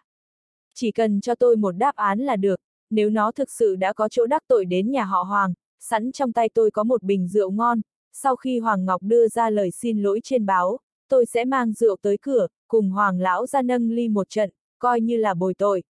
Sở Trần nói xong, trực tiếp liền cúp điện thoại. Ta, Tống Thiên Dương mạnh mẽ đem một cái chữ này nuốt xuống, dù sao, lấy thân phận của hắn, thực sự không thích hợp nói ra hai chữ này. Sở Trần, cậu thật sự không chịu lùi một bước, Tô Nguyệt dáng vẻ như sắp khóc, mọi chuyện có thể dễ dàng thương lượng. Tôi trước mặt Tiểu Thu đã hứa rằng Hoàng Ngọc sẽ đưa ra lời xin lỗi trên báo. Sở Trần nói, Tô Nguyệt cao mày ủ rũ, ta nghĩ Tiểu Thu cũng có thể chấp nhận việc Hoàng Ngọc đến cửa xin lỗi là quá đủ rồi. Mẹ vợ à, người đừng lo. Sở Trần cười, nhà họ Hoàng sẽ đáp ứng. Tô Nguyệt nội tâm đau xót, cô không cần Sở Trần gọi một tiếng mẹ, chỉ cần Sở Trần chịu nghe lời khuyên là được rồi. Nhà họ Hoàng làm sao có thể đáp ứng? Nhà họ Hoàng không thể nào chấp nhận cúi đầu như vậy được. Cha, Sở Trần nhân tiện muốn an ủi Tống Thiên Dương một chút. Tống Thiên Dương quay đầu đi, không có nghe. Sở Trần, tôi thực sự rất tò mò, cậu rốt cuộc đã dùng thủ đoạn gì vậy? Hạ ngôn hoan nhìn chằm chằm Sở Trần, nếu cuộc điện thoại của Hoàng Dương không phải chính tai há nghe thấy, e rằng toàn bộ thành phố Thiền Thành cũng sẽ không ai tin vào điều này. Thái độ của nhà họ Hoàng chưa bao giờ cúi thấp như vậy. Thành thật mà nói, tôi không làm gì cả. Sở Trần nói, toàn bộ từ đầu đến cuối đều chỉ là một mà kịch mà nhà họ Hoàng tự mình biên kịch và đóng vai chính. Tôi chỉ lặng lặng nhìn nhà họ Hoàng biến đổi các loại lựa chọn mà thôi. Hạ ngôn hoan sững sờ. Trên thực tế, sở trần xem như là thật không có làm gì. Nhà họ Hoàng, trong gian phòng, bầu không khí đông cứng lại. Hoàng Giang Hồng nghe rõ từng lời từng chữ của sở trần. Ông thực sự không ngờ rằng thái độ của sở trần lại cứng rắn như vậy. Tại buổi lễ đoạt thanh và bữa tiệc tối diễn ra sau đó, sở trần cho Hoàng Giang Hồng cảm giác rằng hắn có một sự tự tin trong xương thủy. đồng thời hắn cũng là một thanh niên khiêm tốn. Nhưng bây giờ, ngay cả Hoàng Giang Hồng cũng phải cảm thấy kinh ngạc với sự biến sắc mà sở trần đã thể hiện. Thanh niên này ngay khi vừa ra tay đã rất lăng lệ, ngay cả khi đối mặt với nhà họ Hoàng cũng không hề do dự, rụt rè. Yên tĩnh trong giây lát, Hoàng Dương đứng dậy đi ra khỏi phòng, cửa phòng nhẹ nhàng đóng lại. Hoàng Giang Hồng nhắm mắt và nghỉ ngơi. Hoàng Dương đi ra ngoài mà không hỏi ông, điều này cho thấy trong lòng Hoàng Dương đã có quyết định rồi. Ngoài cửa phòng, nhìn thấy Hoàng Dương đi ra, Hoàng Ngọc đang quỳ trên mặt đất vội vàng đứng lên, cha, chuyện gì xảy ra? Tại sao ông nội lại tức giận như vậy? Quỳ xuống, Hoàng Dương một bụng hỏa khí đang không được phát tiết ra ngoài, trông thấy Hoàng Ngọc, quả thực liền giống như là nhìn thấy một cái bao cát di động, lúc này giận dữ mắng mỏ lên, đồng thời nhìn không được lại vung một bàn tay, đánh cho Hoàng Ngọc hai mắt nổi đom đóm. Hoàng Ngọc lại một lần nữa quỳ bịch trên mặt đất, đều là chuyện tốt của ngươi. Hoàng Dương chỉ vào Hoàng Ngọc, tức giận. Cha, Hoàng Ngọc càng thêm ủy khuất hơn, nước mắt lưng tròng, con chẳng qua chỉ dạy một bài học nhỏ cho tiểu tử nhà họ Tống thôi, đây là cái gì chứ? Ông nội ngươi đã hứa với sở trần là sẽ uống rượu trong 7 ngày. Ngươi đem rượu đổ đi, đây không phải là tát vào mặt ông nội của ngươi hay sao? Hoàng Dương tức giận, giơ tay muốn tát Hoàng Ngọc, nhưng sau khi nghĩ lại, hắn đã kìm lại, sau tất cả, những gì Hoàng Ngọc sẽ làm tiếp theo, còn khó chịu hơn là đánh hắn ta. Hoàng Ngọc nhanh chóng đáp lại, và ngay lập tức hét lên, cha, con biết là con sai. Biết sai cũng vô ích, Hoàng Dương nghiêm nghị nói, ra khỏi đây ngay lập tức và tìm một tờ báo. Hoàng Ngọc sửng sốt, tại sao lại tìm đến tòa soạn báo? Xin lỗi, Hoàng Dương hít sâu một hơi, ánh mắt cũng không có thiện ý, hắn nói, xin lỗi tống thu của nhà họ tống và đăng lên báo. Cái gì? Di Hoàng Ngọc buột miệng, không thể tin vào tai của mình, cha, có phải người nói sai gì không? Hoàng Dương tức giận nhìn chằm chằm Hoàng Ngọc, con nghe cho rõ, lấy danh nghĩa của con tìm một tòa soạn báo nói chuyện. Hướng Tống Thu nhà họ Tống, đăng lời xin lỗi trên báo. Hoàng Ngọc nhìn vào mắt Hoàng Dương, một lúc sau mới thốt lên, không thể nào. Làm sao con có thể xin lỗi tiểu tử nhà họ Tống được? Không thể nào, hơn nữa, con đã làm gì hắn ta thì sở chờ cũng đã làm tất cả mọi thứ với con rồi, con cũng là nạn nhân, tại sao con phải xin lỗi Tống Thu? Không thể, Hoàng Ngọc liên tiếp nói vài câu, không thể. Thân cân trai cả của trưởng tử của nhà họ Hoàng, trong lòng hắn có niềm kiêu hãnh tột độ. Nếu như trước mặt cả thành phố đăng đàn xin lỗi Tống Thu của nhà họ Tống, tương lan sau này làm sao hắn có thể ngẩng đầu lên nhìn người. Đầu của Hoàng Ngọc dường như được trang bị lò xo bên trái và bên phải, lắc đầu liên tiếp. Con sẽ không xin lỗi, con có chết cũng không xin lỗi. Hoàng Ngọc lớn tiếng nói, cha, tại sao cha muốn con xin lỗi nhà họ Tống?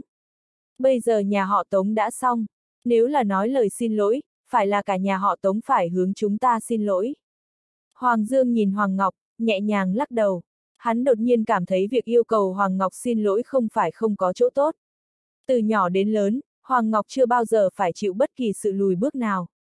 Nhà họ Hoàng là chiếc ô che chở, đem hắn bảo vệ quá tốt.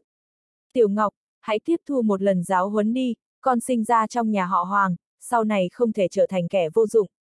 Hoàng Dương nói, hãy nhìn những anh chị em cùng thế hệ với con, một vài người trong số họ đã bắt đầu quản lý sản nghiệp của nhà họ Hoàng rồi. Con thân là cháu trai cả của nhà họ Hoàng mà cả ngày không có việc gì làm, nếu cứ tiếp tục như vậy, tại nhà họ Hoàng, sớm muộn gì con cũng sẽ chỉ trở thành nhân vật ngoài lề. Hoàng Ngọc đã choáng váng, ý tứ của Hoàng Dương, hắn nhất định phải xin lỗi. Không có lý do gì để phản bác, con không, Hoàng Ngọc phản ứng và muốn hét lên, nhưng đã bị cắt ngang bởi Hoàng Dương. Trước khi trời tối, nếu ta không nhìn thấy trên báo có thông báo xin lỗi, con cứ thu dọn đồ đạc và rời khỏi nhà họ Hoàng. Hoàng Dương mắng, Hoàng Ngọc mở to mắt, trong mắt tràn đầy vẻ không tin. Hắn không thể chấp nhận sự thật này. Trước khi tới đây, Hoàng Ngọc vẫn còn ngồi trên ghế sofa, xem đủ loại tin tức cho rằng nhà họ Tống đang bị đàn áp.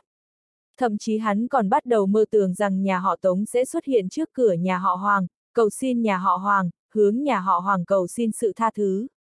Kể cả sở trần, cũng sẽ buông xuống dáng vẻ cao cao của mình, quỳ trước mặt hắn, tạ tội với hắn. Hoàng Ngọc vững tin, nhà họ Hoàng có năng lực này. Nhưng bây giờ, hắn ta vậy mà phải xin lỗi tiểu tử nhà họ Tống trên mặt báo. Đối với Hoàng Ngọc, nó giống như một tia sét giữa trời quang. Không có bất kỳ cái gì để thương lượng. Hoàng Ngọc nhìn Hoàng Dương, trong mắt có nước mắt, có ủy khuất, có khống cam tâm và cũng có sự cầu khẩn. Hoàng Dương thấy vậy, trong lòng dịu lại, hắn khẽ thở dài, vỗ vỗ vai Hoàng Ngọc, Tiểu Ngọc, cha chỉ có thể nói cho con biết, cha không có ý định yêu cầu con đăng báo xin lỗi. Tuy nhiên, nếu con không làm như vậy, nhà họ Hoàng khả năng thật không thể chứa được con.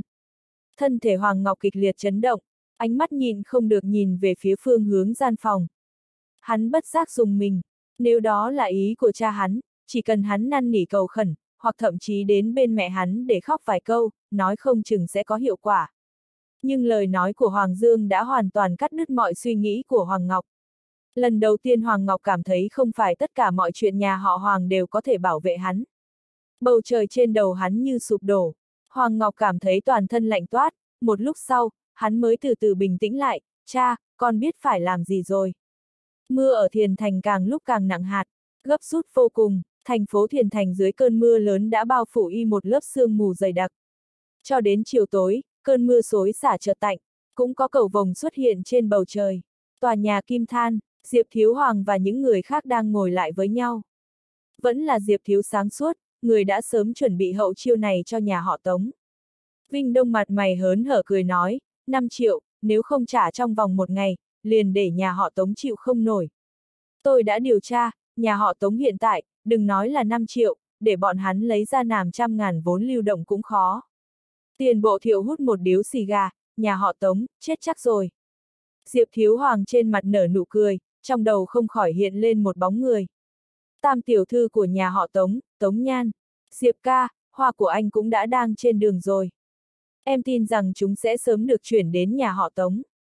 Vinh Đông cười ha ha một tiếng, hoa tươi tặng mỹ nhân, em tin tưởng tiểu thư Tống Nhan sẽ hiểu được tấm lòng của Diệp ca. Tôi ngược lại rất muốn nhìn, khuôn mặt của sở trần sẽ có cỡ nào phần khích khi nhìn thấy người khác tặng vợ mình 999 bông hồng. Tiền bộ thiệu có chút chờ mong. Ha ha, tôi đã ra lệnh cho người tặng hoa phải bí mật ghi lại lúc tặng hoa. Vinh Đông cười, Diệp Thiếu Hoàng mỉm cười, không chỉ là hoa, còn có cả chiếc nhẫn tôi vì nhan nhan đã tự mình làm đặt theo yêu cầu. Người nhà họ Tống nhất định sẽ vì Diệp ca mà cảm động rơi nước mắt. Một bản nhạc chuông lanh lảnh của điện thoại cắt ngang tiếng cười của đám người.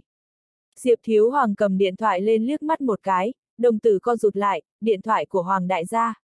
Mấy người đột nhiên an tĩnh lại. Vinh Đông nhìn Diệp Thiếu Hoàng với vẻ ngưỡng mộ. Không có nhiều thanh niên trẻ tuổi ở Thiền Thành có thể để Hoàng đại gia lưu số điện thoại của mình và đích thân gọi điện thoại tới. Làm người phải như Diệp Thiếu Hoàng. Vinh Đông và tiền bộ thiệu đồng thời cảm thán. Hoàng đại gia, Diệp Thiếu Hoàng giọng nói cung kính. Thiếu Hoàng, để ta nói cho ngươi một chuyện. Hoàng Dương ngữ khí bình thản, nhà họ Tống tại hợp tác ba bên, nhà họ Hoàng đã đưa ra tiền bồi thường cho dự án số tiền là 5 triệu. Ngươi cho ta số tài khoản, ta sẽ cho người chuyển tiền tới. Cái gì? Dấu lớn một Diệp Thiếu Hoàng đột nhiên đứng lên, hai mắt gần như rớt ra ngoài. nhìn không được xác nhận nó lại một lần nữa. Đầu óc của Diệp Thiếu Hoàng đang hoạt động với tốc độ cao, nhưng hắn vẫn không nghĩ ra duyên cớ. Tuy nhiên, có một điều chắc chắn là hắn không dám nhận tiền của nhà họ Hoàng. Diệp Thiếu Hoàng cố hết sức chấn tĩnh, cười nói, Hoàng đại gia, tôi bên này vừa đang định gọi điện thoại cho ngài, hạng mục hợp tác tam phương, nhà họ Tống cũng không có làm cái gì sai, là chúng ta bên này bộ phận tài vụ xảy ra chút vấn đề, tính sai hết nợ, chỉ là một chút vấn đề nhỏ. Nghe vậy, Vinh Đông và tiền bộ thiệu ở bên cạnh không khỏi sửng sốt. Bọn họ nhìn Diệp Thiếu Hoàng với vẻ mặt khó hiểu. Sau khi Diệp Thiếu Hoàng cúp điện thoại, Vinh Đông nóng lòng hỏi, Diệp ca, chuyện gì đã xảy ra vậy? Ta không biết, hắn nói, Hoàng đại gia vừa gọi điện nói rằng nhà họ Hoàng muốn bồi thường thay cho nhà họ Tống 5 triệu tệ. Các ngươi nói xem, ta có dám nhận số tiền này không? Đột nhiên, con người của Diệp Thiếu Hoàng co rút lại, nhìn chằm chằm vào điện thoại, chỉ 10 phút trước, trong bản tin buổi tối mới nhất của tờ báo ở Thiền Thành, Hoàng Ngọc nhà họ Hoàng, lấy danh nghĩa cá nhân, đã công khai xin lỗi Tống Thu nhà họ Tống. Không khí trong phòng đột nhiên bị áp chế. Điếu xì gà trong tay tiền bộ thiệu trở nên vô vị, khói bay lơ lửng trong phòng, cả ba người ngồi trong phòng cảm thấy hơi ngộp thở. Tin tức đến quá đột ngột, ba con người đang chìm đắm trong hạnh phúc vui sướng bỗng chốc như có sét đánh giữa trời quang. Bọn họ đọc tin tức nhiều lần, cuối cùng còn mở trang web chính thức của Thiền Thành để xác nhận tính xác thực của tin tức. Hoàng Ngọc, con trai cả trường tử của nhà họ Hoàng, đã xin lỗi Tống Thân Hà họ Tống thông qua một trong những tờ báo có uy tín nhất ở Thiền Thành, Thiền Thành Evening News. Vì cái gì? Một dấu hỏi lớn hiện lên trong đầu ba người bọn họ. Trong đầu Diệp Thiếu Hoàng, những lời nói của Hoàng Dương lặp đi lặp lại. Cuối cùng kết luận là nhà họ Hoàng phong sát nhà họ Tống, tất cả thiệt hại của nhà họ Tống sẽ do nhà họ Hoàng gánh chịu. Thế nhưng mà cuối cùng là vì cái gì? Bọn họ nghĩ không ra. Nhà họ Hoàng còn không nói rõ lý do bỏ qua cho nhà họ Tống, sao đột nhiên thay đổi thái độ, quay sang xin lỗi nhà họ Tống. Tin tức này giống như tảng đá rơi xuống mặt hồ phẳng lặng, trong phút chốc, thiền thành vừa mới sau cơn mưa trời sáng lại, bỗng nhiên như có tiếng nổ kinh thiên động địa. Lần đầu tiên nhìn thấy tin tức này, mọi người sẽ nghĩ rằng đó chỉ là một trò đùa của ai đó nhàn dối. Tuy nhiên, khi thông tin thật sự được xác nhận, tất cả đều choáng váng. Hoàng Ngọc xin lỗi Tống Thu. Những từ khóa này đột nhiên trở thành từ tìm kiếm nóng nhất của một diễn đàn kinh doanh ở Thiền Thành. Các ý kiến trái chiều nổ ra. Không ai có thể đưa ra một kết luận thuyết phục, căn bản là không tìm ra lý do gì để chấp nhận việc nhà họ Hoàng cúi đầu trước nhà họ Tống. Tống Thu của nhà họ Tống là nhân vật như thế nào? Hắn có thể khiến cháu trai đích tôn nhà họ Hoàng đích thân xin lỗi hắn. Thật là kịch tính, tôi còn đang đếm ngày nhà họ Tống bị lật đổ. Xem ra, nhà họ Tống cũng không đơn giản như người ta tưởng. Đêm hôm đó, thành phố Thiền Thành như rung chuyển. Phòng khách nhà họ Tống. Người nhà họ Tống, Hạ Bắc, V, V, đều đang trợn tròn mắt nhìn thẳng vào một người. Sở Trần, nhà họ Hoàng đã xin lỗi, điều này đã gây chấn động toàn thành phố.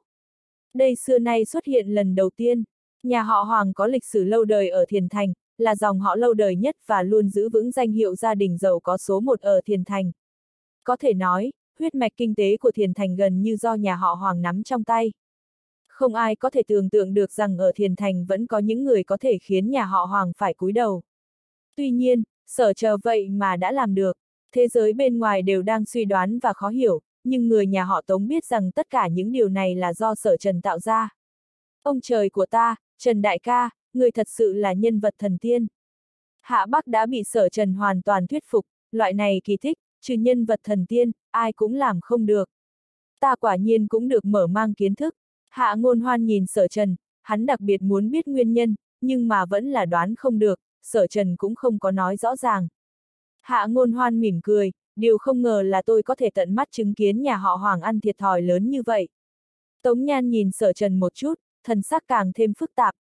Kẻ ngốc bị chính mình đụng phải 5 năm trước thực sự lại có năng lực lớn như vậy.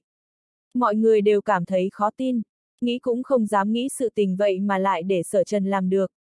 Sau khi thông báo xin lỗi của Hoàng Ngọc được đưa ra, điện thoại di động của Tống Trường Thanh đổ chuông không ngừng. Khác với những cuộc gọi trước đây, những cuộc gọi này dù ít hay nhiều đều đang mang lại lợi ích cho nhà họ Tống. Các dự án khác nhau đã bị hủy bỏ vì lệnh phong sát của nhà họ Hoàng, tất cả đều lấy hồi báo lợi ích tìm tới nhà họ Tống. Không ai biết vì sao nhà họ Hoàng lại cúi đầu, nhưng lúc này, không ai dám đắc tội nhà họ Tống. Hơn nữa, một số người nhận được cuộc gọi từ nhà họ Hoàng, tất cả thiệt hại của nhà họ Tống trong cơn bão này, nhà họ Hoàng sẽ gánh chịu. Cả thành phố Thiền Thành dường như trải qua một trận địa chấn. Trong mắt nhiều người trong giới kinh doanh của Thiền Thành, việc có thể khiến nhà họ Hoàng nhượng bộ đến như vậy là một kỳ tích khó tin. Hội trưởng thương hội đã gọi điện thoại tới và nói rằng trước đó chỉ là hiểu lầm. Hoan nghênh nhà họ Tống gia nhập thương hội Thiền Thành một lần nữa, hội trường sẽ đích thân gửi thư mời đến nhà họ Tống. Tống Trường Thanh thần sắc vui sướng, mơ may mở mặt, hai ngày này nhận được các loại điện thoại gọi đến, thực sự để hắn quá mức uất ức.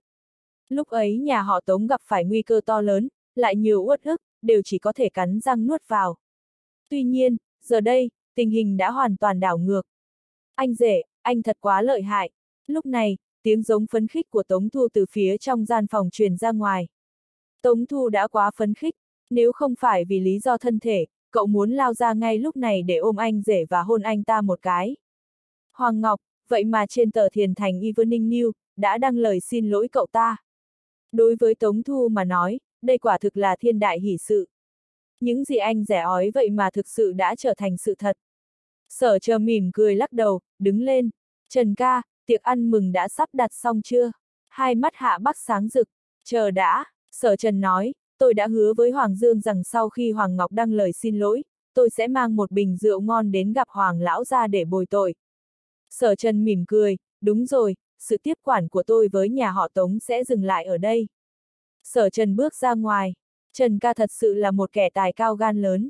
Hạ Bắc nói, tuy không biết tại sao nhà họ Hoàng lại nhượng bộ, nhưng bây giờ nhà họ Hoàng khẳng định muốn đem Trần ca băm thây vạn đoạn. Trần ca vậy mà vẫn dám đến nhà họ Hoàng. Tống Nhan suy nghĩ một chút, vội vàng đuổi theo. Sở Trần trở về biệt thự nhỏ của mình, mang theo một vò rượu đã chuẩn bị từ lâu, vừa bước ra ngoài, xe của Tống Nhan đã lái ra ngoài. Anh không phải muốn bắt taxi đến nhà họ Hoàng đấy chứ? Tống Nhan nói, Sở Trần mỉm cười, nếu có bà xã đưa đi thì còn gì bằng. Sở Trần yên tâm ngồi vào ghế lái phụ, Tống Nhan lái xe tới cửa khu biệt thự nhà họ Tống. Các biệt thự của nhà họ Tống được xây dựng bao quanh hồ nước, có tường cao xây xung quanh, nhân viên bảo vệ túc trực ở các cổng vào. Vừa tới cửa, Tống Nhan đã nhìn thấy một chiếc xe quen thuộc, lông mày không khỏi nhíu mày. Đây là xe của chị hai. Sau khi nhà họ Hoàng ban bố lệnh phong sát nhà họ Tống, đều chưa từng thấy xe của chị hai xuất hiện trở lại nhà họ Tống. Bây giờ cơn khủng hoảng đã qua, nhà họ Hoàng xin lỗi, chị hai lại ra mặt. Tống Nhan khóe miệng nhúc nhích một chút, nhưng cuối cùng cô vẫn không thể không nói ra. Em có phải đang muốn nói rằng cô ta là kẻ hám lợi, coi thường thân tình? Sở chờ nở một bên thay Tống Nhan nói ra lời trong lòng. Tống Nhan có loại cảm giác bị vạch trần đột nhiên có chút thẹn quá hóa giận, chừng mắt nhìn sở trần, dưới áp lực của nhà họ Hoàng, việc nhà họ Chu lựa chọn nhượng bộ cũng là lẽ thường tình. Sở trần nhìn Tống tình chạy xe đi vào, cảm thán một tiếng, đây cũng là hiện thực đi. Khi Tống Nhan lái xe chậm chậm rời khỏi nhà họ Tống, lúc này Chu Kiếm và Tống Tình đã xuống xe, trên tay còn cầm không ít quà tặng, vẻ mặt tươi cười đi vào nhà. Ông nội, cha, mẹ, chúng con đến rồi. Ngay khi vừa bước vào cửa, giọng điệu Tống Tình đã ngọt ngào gọi, ông nội, trong hai ngày qua Chu Kiếm và cháu đã đến chợ đồ cổ nhiều lần, cuối cùng chúng cháu đã tìm thấy chiếc bình hoa mà ông nội yêu thích nhất đó. Chu Kiếm không kịp chờ đợi liền mở nó ra và đưa cho Tống Trường Thanh. Tống Trường Thanh nhìn xuống kiểm tra, nhưng cũng không có ngẩng đầu đáp lại. Chu Kiếm cố gắng giữ nụ cười trên môi, hai tay cầm cái bình, cúi xuống, nói, ông nội. Tống Trường Thanh vẫn mặc kệ.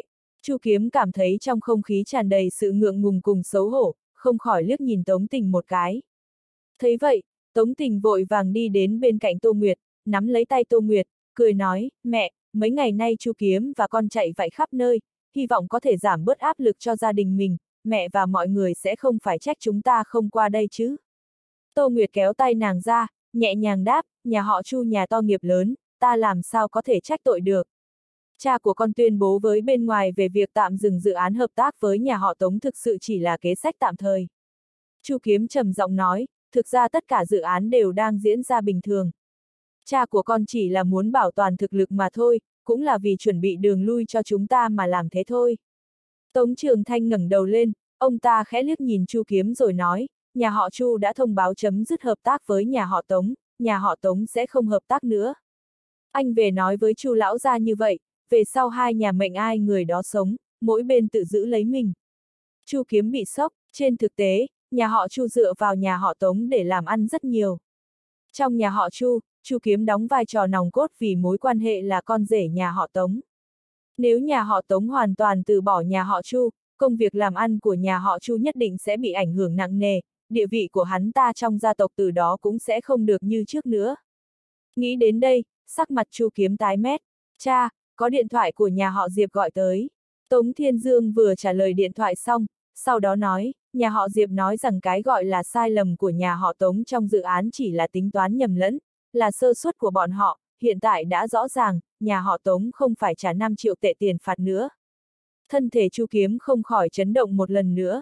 Lời xin lỗi của Hoàng Ngọc trên báo đã khiến nhà họ Tống sống lại một cách thần kỳ. Trước sự thúc giục của gia đình gia đình nhà hắn, hắn lập tức chuẩn bị quà mang đến nhà họ Tống, với mong muốn nhà họ Tống sẽ bỏ qua hiểm khích lúc trước, dù sao thì hai bên gia đình cũng là quan hệ thông gia. Tuy nhiên, thái độ của lão gia tử còn lạnh lùng hơn so với hắn tưởng tượng. Chu kiếm trên đường tới cũng vô cùng khó hiểu. Không ai có thể ngờ tới nhà họ Tống lại có thể sống sót qua kiếp nạn này. Nhưng giờ đây, sau khi tận mắt chứng kiến, nhà họ Tống không những đã vượt qua khó khăn, mà còn không hề có nửa điểm tổn thất. Có thể tưởng tượng rằng, nhà họ Tống nhất định sẽ thuận thế mà lên, sẽ có bước phát triển đại nhảy vọt. Nhưng hết thảy, lúc này nhà họ Tống lại muốn cùng nhà họ Chu phủi sạch quan hệ. Tống tình sắc mặt cũng tái nhợt, cô nhìn Tô Nguyệt bằng ánh mắt cầu khẩn.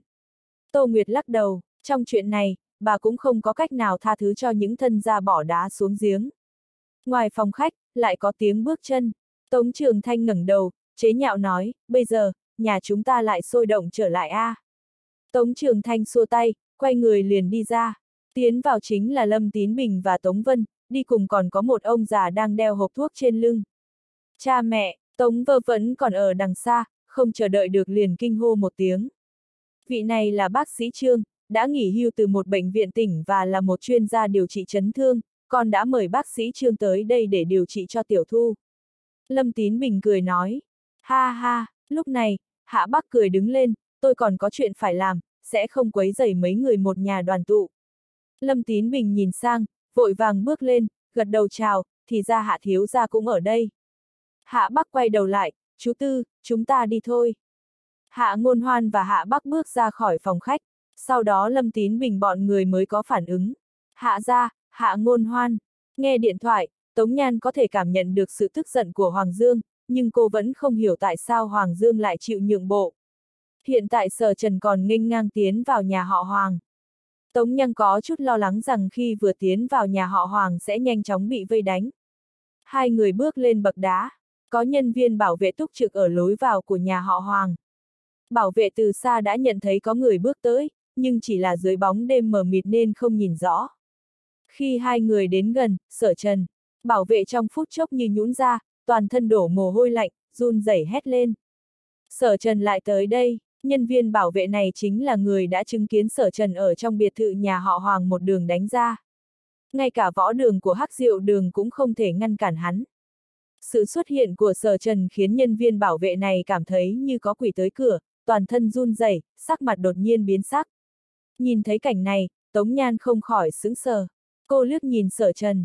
Tên ngốc này đến tột cùng đã làm cái gì tại nhà họ Hoàng mà để cho an ninh nhà họ Hoàng nhìn thấy hắn mà như gặp quỷ. Sở trần cười nhẹ, làm phiền thông báo một tiếng, sở trần tới thăm Hoàng lão gia. Nhân viên bảo vệ lấy lại tinh thần, phát hiện áo phía sau đã ướt đẫm, vội vàng gật đầu, sau đó lấy máy bộ đàm ra, quay lưng lại, nhỏ giọng nói vài câu.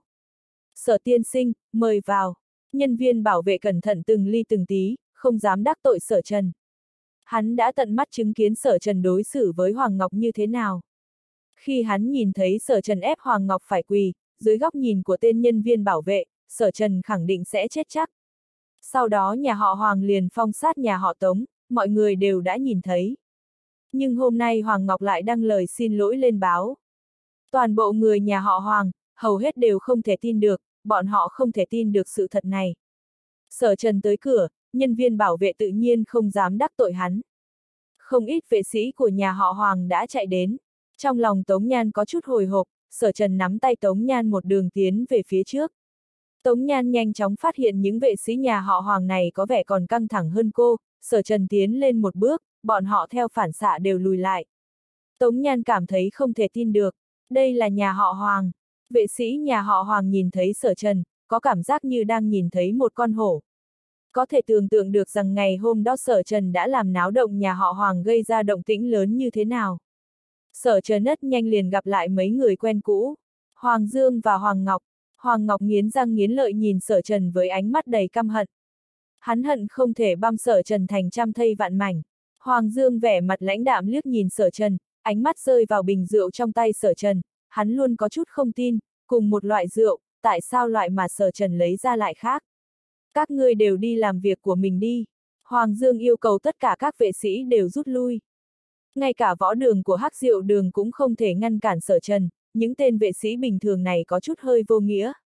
Lần đầu tiên Tống Nhan để cho sở trần nắm tay chính là lúc đi dạo trong biệt thự nhà họ Hoàng, biệt thự này mang đến cho Tống Nhan một bầu không khí vô cùng một ngạt, khiến cô cảm thấy toàn thân không thoải mái. Khi đến phòng của Hoàng Giang Hồng, cả hai đẩy cửa bước vào. Vẻ mặt Tống Nhan không khỏi giật mình. Trạng thái tinh thần của Hoàng Lão gia khác rất nhiều so với thời điểm diễn ra lễ hội đoạt thanh. Sắc mặt ông ta tái nhợt, dựa vào đầu giường. Hoàng Lão gia, sở trần đi tới, Hoàng Giang Hồng vẫy vẫy tay để Hoàng Ngọc đi ra ngoài. Trong phòng chỉ còn lại Hoàng Giang Hồng, Hoàng Dương, Sở Trần và Tống Nhan. Tống Nhan cảm thấy bầu không khí càng thêm kỳ quái. Sở Trần chậm rãi mở rượu. Hoàng đại gia, ông có ly rượu nào không? Hoàng Dương đi qua cầm ly rượu mang tới. Tống Nhan còn bị sốc hơn. Lần này Sở Trần tới cửa, thật sự muốn nâng ly mời Hoàng lão ra sao? Lấy rượu để bồi tội. Hơn nữa, ngay khi vừa bước vào cửa, đã đi thẳng vào vấn đề. Chỉ là Tống Nhan không thể hiểu nổi tại sao Hoàng Lão Gia lại chấp nhận lời xin lỗi kỳ dị như vậy của Sở Trần. Hoàng Lão Gia, đã đắc tội nhiều dối sơ Trần cười, mong rằng nhà họ Tống và nhà họ Hoàng có thể bỏ qua những hiểm khích trong quá khứ và hợp tác nhiều hơn trong tương lai. Nhà họ Tống và nhà họ Hoàng. Một tia sáng lạnh lẽo lóe lên dưới mắt Hoàng Dương. Những lời nói này của sở chờ không thể nghi ngờ, đang đặt nhà họ Tống vào vị trí ngang hàng với nhà họ Hoàng. Dựa vào cái gì? Hoàng Dương vẻ mặt khinh thường. Hắn chưa bao giờ nghĩ rằng có bất kỳ gia tộc nào ở Thiền Thành có thể sánh ngang với nhà họ Hoàng. Chưa kể, lần này nhà họ Tống còn suýt phá sản. Hoàng Giang Hồng nhìn rượu mà Sở Trần đưa tới, sau khi nhận lấy, trầm giọng nói, không phải cậu đã nói phải uống rượu này vào lúc giữa trưa sao? Hiện tại thì không cần. Sở Trần trả lời một cách ngắn gọn, xúc tích và đầy tự tin. Hoàng Giang Hồng một lần nữa cảm nhận được sự tự tin của người thanh niên trước mặt. Bất quá, tình trạng thể chất của Hoàng Giang Hồng, bản thân ô ngõ ràng nhất, loại rượu này có công dụng hay không, sau khi uống xong ông sẽ biết liền. Hoàng Giang Hồng trong lòng vẫn mang theo hy vọng, không ai không muốn cơ thể minh khỏe mạnh, Hoàng Giang Hồng cũng là một người bình thường. Hơn nữa, những cơn ác mộng hành hạ cả ngày lẫn đêm, cho dù ý chí của Hoàng Giang Hồng có kiên định hơn nữa cũng khó mà chịu đựng được. Trước khi sở trần đến, Hoàng Giang Hồng đã thử híp mắt lại một lúc, nhưng liền cảm giác như một cơn ác mộng lại sắp ập đến. Trong phòng, Hoàng Giang Hồng nhanh chóng uống cạn ly rượu. Một luồng nhiệt đã mất từ lâu truyền dọc cơ thể Hoàng Giang Hồng.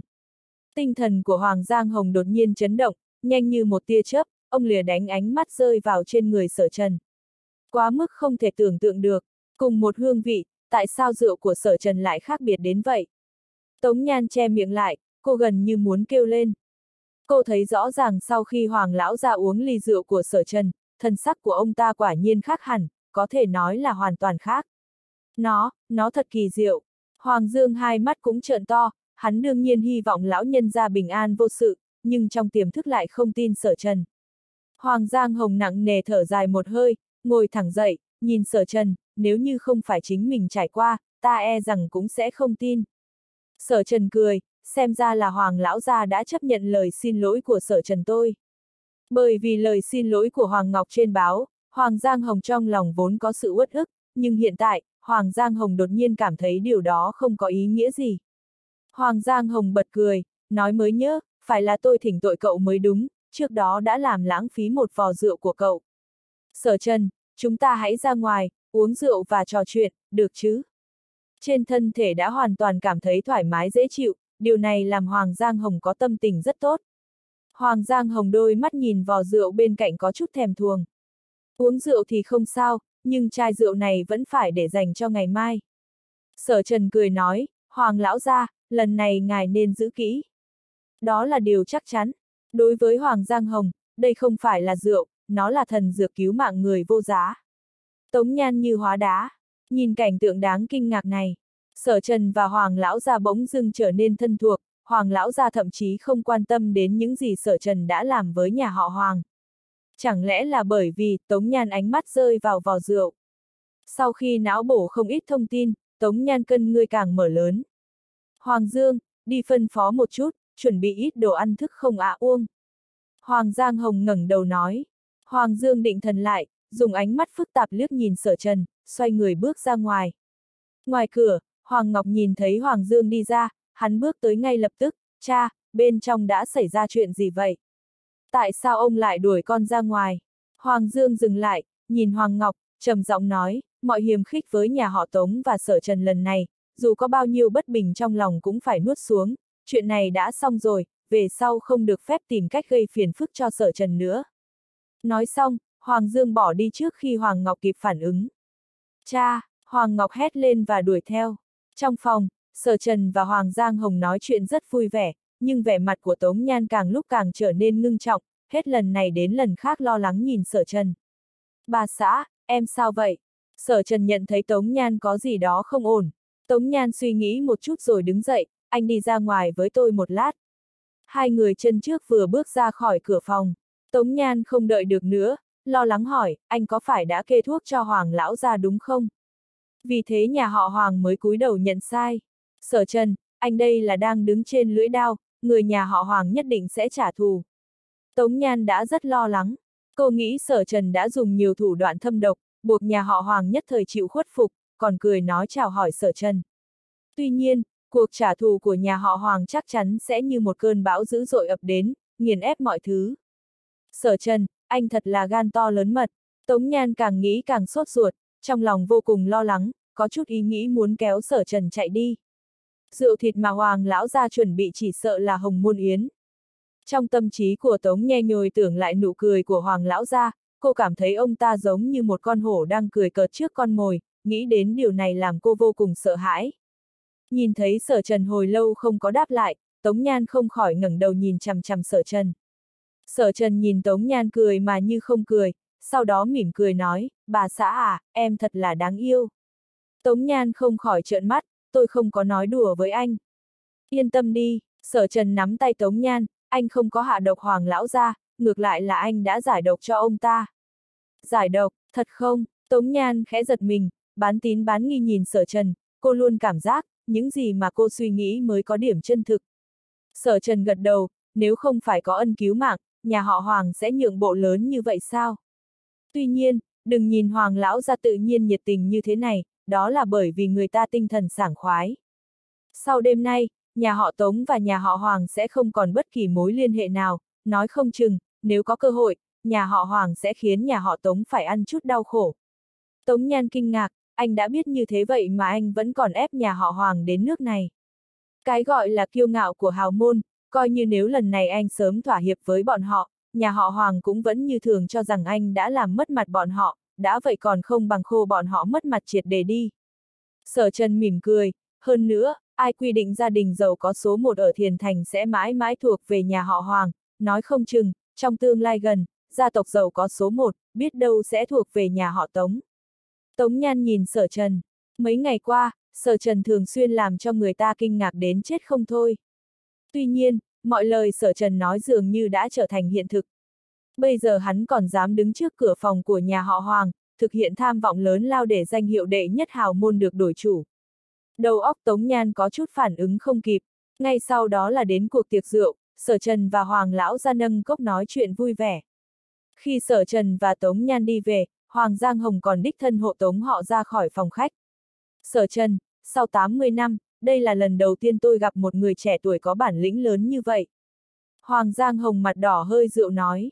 Sở Trần mỉm cười, tôi hy vọng Hoàng lão gia có thể chiếu cố nhiều hơn, tỏi thật sự hy vọng hai nhà Tống Hoàng sẽ không bao giờ tranh phong. Sở Trần nắm tay Tống Nhan rời đi. Họ Tống và họ Hoàng sẽ không bao giờ tranh phong. Hoàng Dương nhìn chằm chằm bóng lưng của Sở Trần, không khỏi cười chế nhạo, thật là một trò đùa lớn. Nếu nhà họ Hoàng được ví như cây đại thụ che trời, thì nhà họ Tống chỉ là một ngọn cỏ nhỏ nhoi bình thường mà thôi. Hoàng Dương cảm thấy vô cùng khó chịu với giọng điệu nói chuyện của sở trần. Trong 100 năm qua, nhà họ Hoàng quả thực chưa từng cúi đầu bao giờ. Hoàng Giang Hồng thản nhiên nói, tuy nhiên, cúi đầu thấp một lần, uống một chầu rượu, đổi lại một cái ân tình, cũng coi như đáng giá.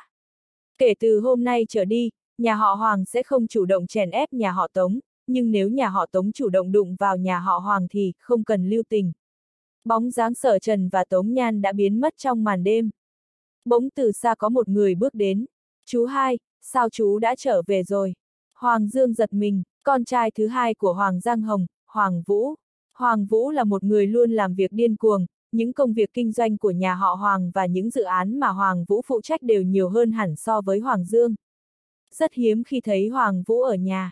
Đại ca, Hoàng Vũ mặc một bộ âu phục chỉnh tề, dường như vừa từ công ty trở về, vẻ mặt không giấu được vẻ vui mừng, nói với Hoàng Giang Hồng cha, con có một tin vui muốn báo cho người, Ngọc Hằng cua vài ngày nữa sẽ trở về.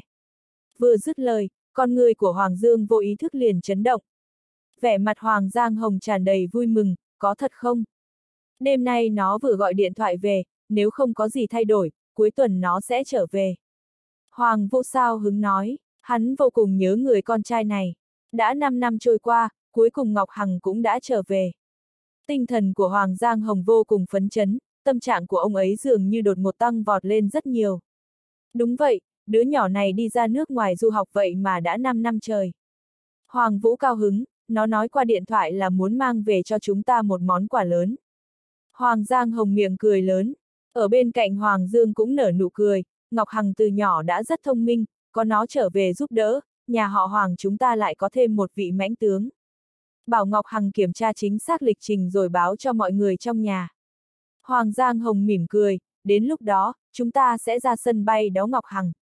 Hoàng Giang Hồng nhìn về hướng sở trần vừa rời đi, nếu Ngọc Hằng trở về sớm hơn, đệ nhất thanh niên thiên tài của thiền thành chưa chắc đã thuộc về hắn. Hoàng Dương trở về phòng của mình, vẻ mặt âm trầm, mấy ngày nay không có chuyện gì làm cho Hoàng đại gia vui vẻ cả. Hoàng Ngọc trước mặt toàn thành phố đăng báo gửi lời xin lỗi, đối với Hoàng Ngọc mà nói, nhà họ Hoàng đã mất hết thể diện vì đứa cháu trai trường này. Mà lúc này đây, Hoàng Ngọc Hằng lại trở về. Cha, con đã tới. Hoàng Ngọc sải bước nhanh vào phòng, quỳ xuống, Hoàng Dương phẫn nộ nói. Hoàng Ngọc bịch một tiếng liền quỳ hai gối xuống, với những động tác vô cùng thành thạo, đôi mắt bỗng đỏ hoe, cha, con lại làm gì sai? Tên vô dụng này, Hoàng Dương giận dữ hét lên, thân là cháu đích tôn của nhà họ Hoàng, người vốn phải là người đủ tư cách nhất để tiếp quản tất cả công việc kinh doanh của nhà họ Hoàng, thế nhưng người cả ngày ăn chơi lêu lồng, không làm được bất cứ việc gì. Để ta nói cho con biết một tin, Hoàng Ngọc Hằng đã sắp trở về, có thật không cha? Hoàng Ngọc bỗng vui mừng, thế thì tốt quá. Hoàng Dương cảm giác như có một mũi tên đâm trúng vào trong lồng ngực hắn, hận không thể phun ra một ngụm máu. Hoàng Ngọc Hằng ngay từ khi còn là một đứa trẻ đã thể hiện những năng lực vượt xa người bình thường. Nó không chỉ có một bộ não phi thường mà còn có thiên bẩm kinh doanh, năm 13 tuổi đã gia nhập văn đường của Hắc Diệu Đường. Ngay cả công phu quyền cước của nó cũng được tất cả các quán chủ quyền quán của thiền thành chỉ điểm. Vào 5 năm trước, trước khi nó ra nước ngoài, đã được phá lệ để được vào võ đường của Hắc Diệu Đường.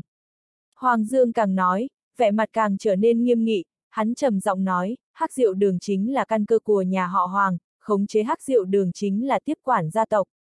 Ông nội của ngươi trong nhiều năm qua vẫn khống chế Hắc Diệu Đường.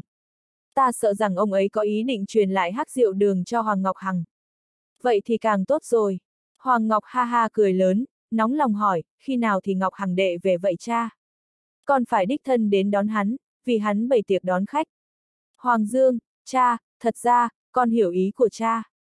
Hoàng Ngọc nói, tự vỗ ngực, khi Ngọc Hằng đệ trở về, con sẽ cố gắng hết sức để có thể quan hệ tốt với chú ấy. Sau này khi chú ấy tiếp quản hắc rượu đường trong tương lai, chú ấy nhất định sẽ đối xử với con tốt hơn. Cha, đừng lo lắng, con biết phải làm thế nào. Hoàng Dương thân thể run lên, tay chỉ vào Hoàng Ngọc nói, ngươi, ngươi biết cái dám.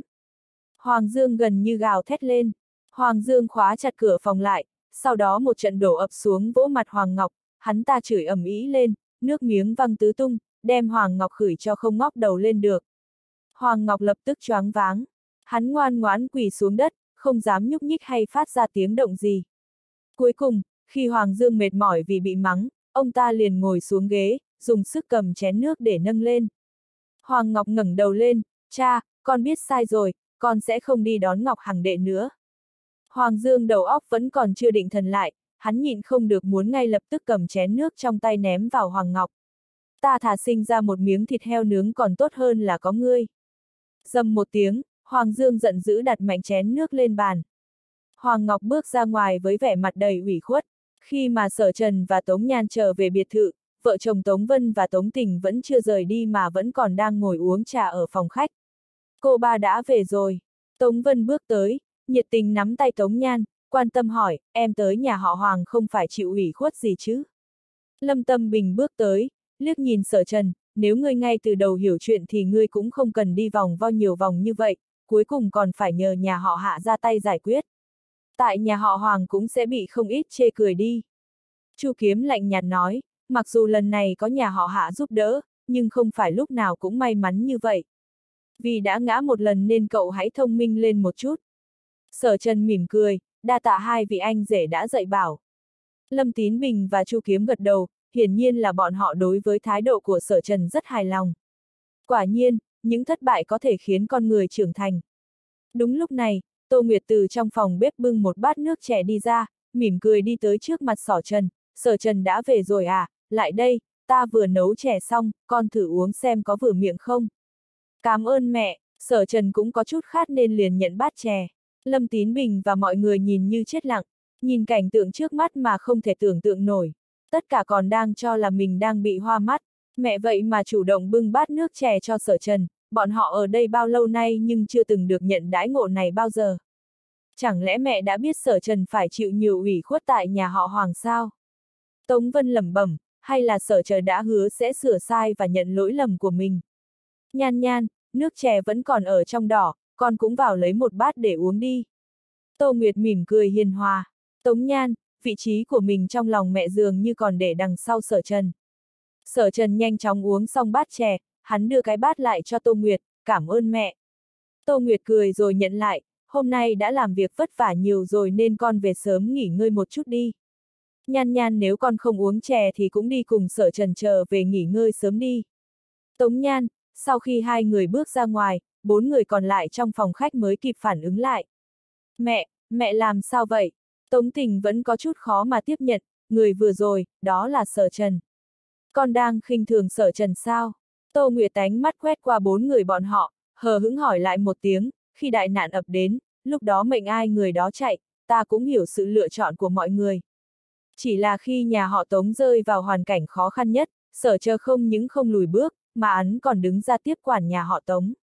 Cái gì cơ? Bốn người đồng thời đứng dậy hét lớn. Mẹ, mẹ đang nói cái gì vậy? Tống tình không tin hỏi, sở trần tiếp quản nhà họ Tống. Đúng vậy, khi nhà họ Tống lâm nguy nhất, sở trần đã đứng ra để tiếp quản nhà họ Tống. Tô Nguyệt nói, thật quá đáng, Chu Kiếm lớn tiếng nói, vốn dĩ là lỗi của sở trần, hắn dựa vào cái gì để tiếp quản nhà họ Tống? Chẳng lẽ chỉ vì hắn có quan hệ với hạ thiếu gia sao? Đây quả thực là lợi dụng lúc người khác đang gặp khó khăn. Lâm Tín Bình không cam lòng. Mẹ, sở Trần dù sao cũng chỉ là một tên con rể không rõ lai lịch, làm sao có thể để hắn tiếp quản nhà họ Tống. Nếu chuyện này bị truyền ra ngoài thì thật xấu hổ. Tống tình cũng nói, đúng vậy, nhưng chưa từng có tiền lệ tên ở dệt xoay người làm chủ trong nhà. Tô Nguyệt tánh mắt hờ hững nhìn bốn người bọn họ, lấy bụng tiểu nhân để đo lòng quân tử, thời hạn mà sở trần tiếp quản nhà họ Tống chỉ giới hạn trong trận phong này của nhà họ Tống. Sau khi bão táp qua đi, quyền lực của nhà họ Tống, sở trần đã trả lại tất cả, thời gian cũng đã muộn, các ngươi trở về nhà nghỉ ngơi đi. Tô Nguyệt không để ý đến bốn người, liền quay người bước vào. Cả bốn người nhìn nhau, không ngờ sở trần lại có thể mượn thực lực của nhà họ hạ giải quyết ổn thỏa như vậy. Chu kiếm không cam lòng nói, vẻ mặt càng thêm hối hận, lần này nhà họ Chu thực sự đã tổn thất nặng nề. Nhà họ Hạ muốn tiến vào thị trường dược phẩm ở Thiền Thành, vì vậy bọn họ mới nâng đỡ Sở Trần và giúp đỡ nhà họ Tống. Lâm Tín Bình lạnh lùng nói, tuy nhiên, phụ cá cực giữa tiền lão gia và Sở Trần đã sớm lan truyền khắp Thiền Thành, dược phẩm Bắc Trần muốn có thành tựu ở Thiền Thành càng là khó như lên trời. Hừm, một khi nhà họ Hạ đầu tư thất bại, nhà họ Hạ sẽ lập tức bỏ lại Thiền Thành, đến lúc đỏ Sở Trần tự nhiên sẽ trở thành quân cờ vô dụng, chỉ định sẽ bị vứt bỏ. Tống vơ lạnh lùng cười một tiếng, hạn cược của sở trần và tiền lão ra là một tháng, sở trần à, hắn ta sẽ không kiêu ngạo được bao lâu nữa đâu. Phòng khách nhỏ của biệt thự, sở trần đang rót trà, Tống Nhan đang phân loại tư liệu của dược phẩm Bắc Trần. Hạ tiên sinh đã gọi điện thoại tới, bọn họ bên kia đã chuẩn bị sẵn sàng, đảng ký của công ty cũng đã hoàn tất. Tống Nhan nói, Sở Trần, ngày mai chúng ta sẽ đến tòa nhà Kim Than, sau khi trang trí đơn giản một chút, trong vòng 5 ngày dược phẩm Bắc Trần có thể treo biển hành nghề được rồi. Sở Trần đưa trà, bà xã đã làm việc vất vả roi. Tống Nhan liếc nhìn Sở Trần, anh không có đề nghị gì sao? Không có, Sở Trần cười dịu dàng, khuôn mặt tuấn lãng, anh phụ trách đẹp trai tuấn tú, bà xã phụ trách kiếm tiền nuôi gia đình. Tống nhe nhá miệng, không biết nên trả lời như thế nào. Hắn có thể đem việc ăn bám nói một cách tự nhiên như thế, Tống Nhan thực sự không có cách nào để phản bác. Sáng sớm hôm sau, Sở Trần và Tống Nhan theo thường lệ đến gặp Tống Thu. Thương thế trên người của Tống Thu đã hồi phục rất tốt, cậu ấy đã có thể ra khỏi giường và đi lại. Tuy nhiên, trước khi Sở Trần bước vào phòng, từ đằng xa hắn đã nghe thấy một tiếng thở dài thê lương. Tiểu Thu, sao ta thấy, cậu so với cô con dâu nhỏ bị phụ bạc trông còn thê lương hơn vậy? Sở Trần nói, Tống Nhan liếc nhìn Sở Trần, vẻ mặt có chút bất thiện. Làm sao tên ngốc này biết được con dâu của nhà người khác bị phụ bạc như thế nào? Anh dề, nam quyền, không ngẩng đầu lên được nữa rồi. Tống Thu nhìn Sở Trần, thở dài một hơi, trầm giọng nói, tin tức vừa mới truyền đến, quán chủ của võ quán Hắc Diệu Quyền cũng đã bị tên Bắc Quyền Triệu Sơn kia đánh bại. Võ quán Hắc Diệu Quyền là gì chứ? Chính là quyền quán của nhà họ Hoàng. Nghe đến đây, Sở Trần sửng sốt, hơi ngạc nhiên. Hắc Diệu Quyền của nhà họ Hoàng hẳn là ít nhiều có liên quan đến Hắc Diệu Đường của bọn họ. Thế mà vẫn thất thủ trước Bắc Quyền Triệu Sơn. Xem ra trước đó ta đã đánh giá thấp tên Triệu Sơn này. Tống Thu nghiến răng, quỳ củ giang hồ còn đâu, sau khi Triệu Sơn đánh bại quán chủ của võ quán Hắc Diệu Quyền, hắn ta đã tháo biển hiệu của võ quán Hắc Diệu Quyền, không những thế sau khi hắn ta rời đi, hắn còn phát ngôn một câu bừa bãi, Tống Thu nắm chặt nắm đấm, hắn nói cái gì, nam quyền hèn nhát, không có một ai biết đánh nhau. Nhìn thấy Tống Thu nghiến răng nghiến lợi, dáng vẻ vô cùng phẫn nộ, Tống Nhan vừa đau lòng vừa tức giận, người ta chỉ là đánh thắng một trận, nói một vài câu khó nghe, nếu cậu không thích thì cứ mặc kệ đi, nhưng mà đừng có giận sang bản thân. Tỷ à, em chỉ là nuốt không trôi cục tức này. Tống Thu than vãn, dựa vào cái gì mà hắn nói nam quyền toàn kẻ hèn nhát. Hắn ta đánh thắng, đương nhiên là muốn nhục nhã đối phương một chút. Tống Nhan nói, nếu như hắn ta thực sự cỏ bản lãnh, tại sao không tới trước mặt sở trần nói nam quyền hèn nhát. Sở trần liếc nhìn Tống Nhan cười một tiếng, chỉ bằng lời nói này của bã xã, ta chỉ dùng một tay có thể đánh ngã hắn. Tống Thu ánh mắt sáng lên, thần sắc cuồng nhiệt nhìn chằm chằm sở trần, anh rể, anh nhất định phải thay tất cả quyền của anh thiền thành chúng ta báo cái mối hận này, cái tên Bắc quyền Triệu Sơn kia ra tay rất ác độc, các quán chủ của chúng ta đều đã bị phế. Anh không phải đã nói với cậu, chờ cậu điều trị thương thế tốt lên, sẽ để cậu đích thân tới đối phó với hắn sao? Sở Trần vỗ vỗ vai Tống Thu cười nói, anh rể tin tưởng cậu có thể đánh bại tên Triệu Sơn kia. Tống Thu ngây người, ngay cả những đại võ sư của các quyền quán lớn nhất ở Thiền Thành cũng thua trong tay của Bắc quyền Triệu Sơn. Hắn làm sao có thể đánh bại Bắc quyền Triệu Sơn? Anh rể, anh rể đã từng lừa dối cậu sao? Sở Trần lại cười nói. Tống Thu nắm chặt nắm đấm. Trong đáy lòng cậu, quả thực có một tia hy vọng. Nếu như Bắc quyền Triệu Sơn bị cậu ta đánh bại thì tên tuổi Tống Thu của cậu sẽ ngay lập tức dương danh ở Thiền Thành. Chỉ là ba ngày sau Triệu Sơn sẽ tổ chức cái gọi là hội triển lãm, đây chính là quang minh chính đại làm nhục các quyền quán lớn của Thiền Thành. Tống Thu nhíu mày, ba ngày là đủ, sở trần nhẹ giọng nói, bất quá, thế lực đằng sau tên Triệu Sơn này chỉ sợ là không nhỏ. Em cũng đã nhờ bạn bè đi điều tra, nhưng thật sự không tìm được bất kỳ lai lịch gì của tên Triệu Sơn này. Tống Thu nói, nếu không tra được thì hãy quên chuyện đó đi. Sở Trần nói, Triệu Sơn đã khiêu chiến các quyền quán lớn, phát ngôn bừa bãi, còn đả thương quán chủ tinh anh quyền quán, cậu thân là một thành viên của tinh anh quyền quán phải có trách nhiệm đứng ra. Ba ngày sau tại buổi triển lãm này, cậu có thể tự mình lấy lại danh dự cho tất cả mọi người. Trên đường đến tòa nhà Kim Than, Tống Nhan lái xe, dừng ở đèn đỏ, nhìn ngang qua sở trần, nghe nói tên Triệu Sơn kia là một kẻ hung ác, anh phải bảo vệ tốt cho Tiểu Thu. Không có vấn đề gì, anh đã từng gặp qua Triệu Sơn, có chút thủ đoạn công phu, Tiểu Tha Tư sức đối phó với hắn. Sở Trần tự tin nói. Tống Nhan liếc nhìn Sở Trần. Cô vẫn không thể hiểu được Sở Trần tại sao lại dám hùng hồn nói ra toàn những điều không thể trước mặt mọi người. Điều khó hiểu hơn nữa là những gì Sở Trần nói cuối cùng đều xảy ra một cách thần kỳ. Tống Thu vẫn còn đang bị thương, ba ngày dưỡng thương bệnh khỏi nghe còn được, muốn đánh bại Bắc quyền Triệu Sơn, kẻ quét ngang tất cả các võ quán lớn nhỏ ở Thiền Thành, đây là si tâm vọng tưởng. Tôi thực sự muốn xem anh sẽ như thế nào để hữu hóa hóa mục nát thành năng lực thần kỳ. Tống Nhan nói, ông xã của em thực sự rất lợi hại đó. Sở Trần chưa từng có dáng vẻ khiêm tốn khi ở trước mặt Tống Nhan. Tòa nhà Kim Than, tầng 21, Tống Nhan đã ký hợp đồng thuê nhà với giám đốc Hoàng. Chúc mừng tiểu thư Tống Nhan, tôi chân thành chúc công ty của tiểu thư Tống Nhan thuận buồm xuôi gió. Giám đốc Hoàng nờ nụ cười sau đó rời khỏi văn phòng. Thật là một nụ cười đầy châm chọc. Sở Trần cười nhạo, e rằng bọn họ đều đang chờ xem chờ cười.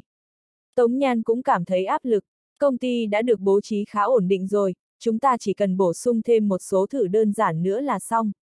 Tống Nhan cố gắng để tâm tình của mình bình tĩnh, con người kiên định, cô có sự tin tưởng vững chắc, cùng nhà họ hạ đồng tâm hiệp lực, cô có thể đánh thắng một trận chiến này. Sau khi đi dạo một vòng, Sở Trần liền trở lại văn phòng. Tống Nhan vừa kết thúc cuộc điện thoại với Hạ Ngôn Hoan. Dự án đầu tiên đã được xác nhận. Tống Nhan nói, sản phẩm đầu tiên của dược phẩm Bắc Trần là sẽ một loại thuốc liên quan đến chăm sóc sức khỏe. Hạ Tiên Sinh nói rằng ông ấy đã điều tra thị trường của Thiền Thành, mảng này rất có tiềm năng phát triển. Hơn nữa, nhà họ Hạ ở phương diện này có đầy đủ kinh nghiệm, trong vòng một tháng, hoàn toàn có thể cho ra mắt sản phẩm của mình. Bà xã đã vất vả. Sở Trần liền giang tay khoác lấy bả vai của Tống Nhan. Tống Nhan đột nhiên né tránh như một con chim nhỏ, hung hăng chừng mắt nhìn Sở Trần. Cô vẫn chưa thể chấp nhận bất kỳ sự tiếp xúc thân thiết nào với Sở Trần. Tống Nhan không nói thêm gì nữa, cô có thể thấy tên ngốc này hoàn toàn không quan tâm gì đến dược phẩm Bắc Trần cả.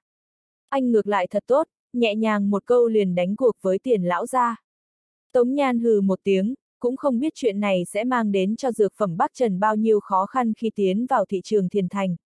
Sở Trần mỉm cười nhìn Tống Nhan, anh tin tưởng bà xã, bà xã là người thông minh và có năng lực nhất. Tống Nhan không muốn nói chuyện với Sở Trần nữa. Một cỗ khí thế mà tên ngốc này tạo ra khi tiếp quản nhà họ Tống, trong vòng một đêm dường như đã biến mất không còn thấy bóng dáng tăm hơi. Bây giờ hắn ta hiển nhiên chính là một gã thích ăn cơm chùa. Tống Nhan rất muốn gõ vào đầu của sở trần xem bên trong có phải đang cất giấu hai cái linh hồn hay không. Vào lúc giữa trưa, sở trần và Tống Nhan rời khỏi tòa nhà Kim Than. Tại bãi đỗ xe, vừa mới đi được vài bước, bước chân của sở trần đột nhiên dừng lại. Có chuyện gì vậy? Tống Nhan hỏi, sau đó nhìn theo ánh mắt của sở trần, sắc mặt chợt tái nhật, bước nhanh đi tới, làm sao lại có chuyện này?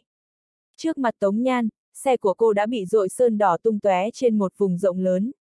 Vẻ mặt của sở trần trầm xuống, hắn bước lên phía trước. ngẩng đầu nhìn quét qua xung quanh, tầm mắt của sở trần rơi vào trên thân xe.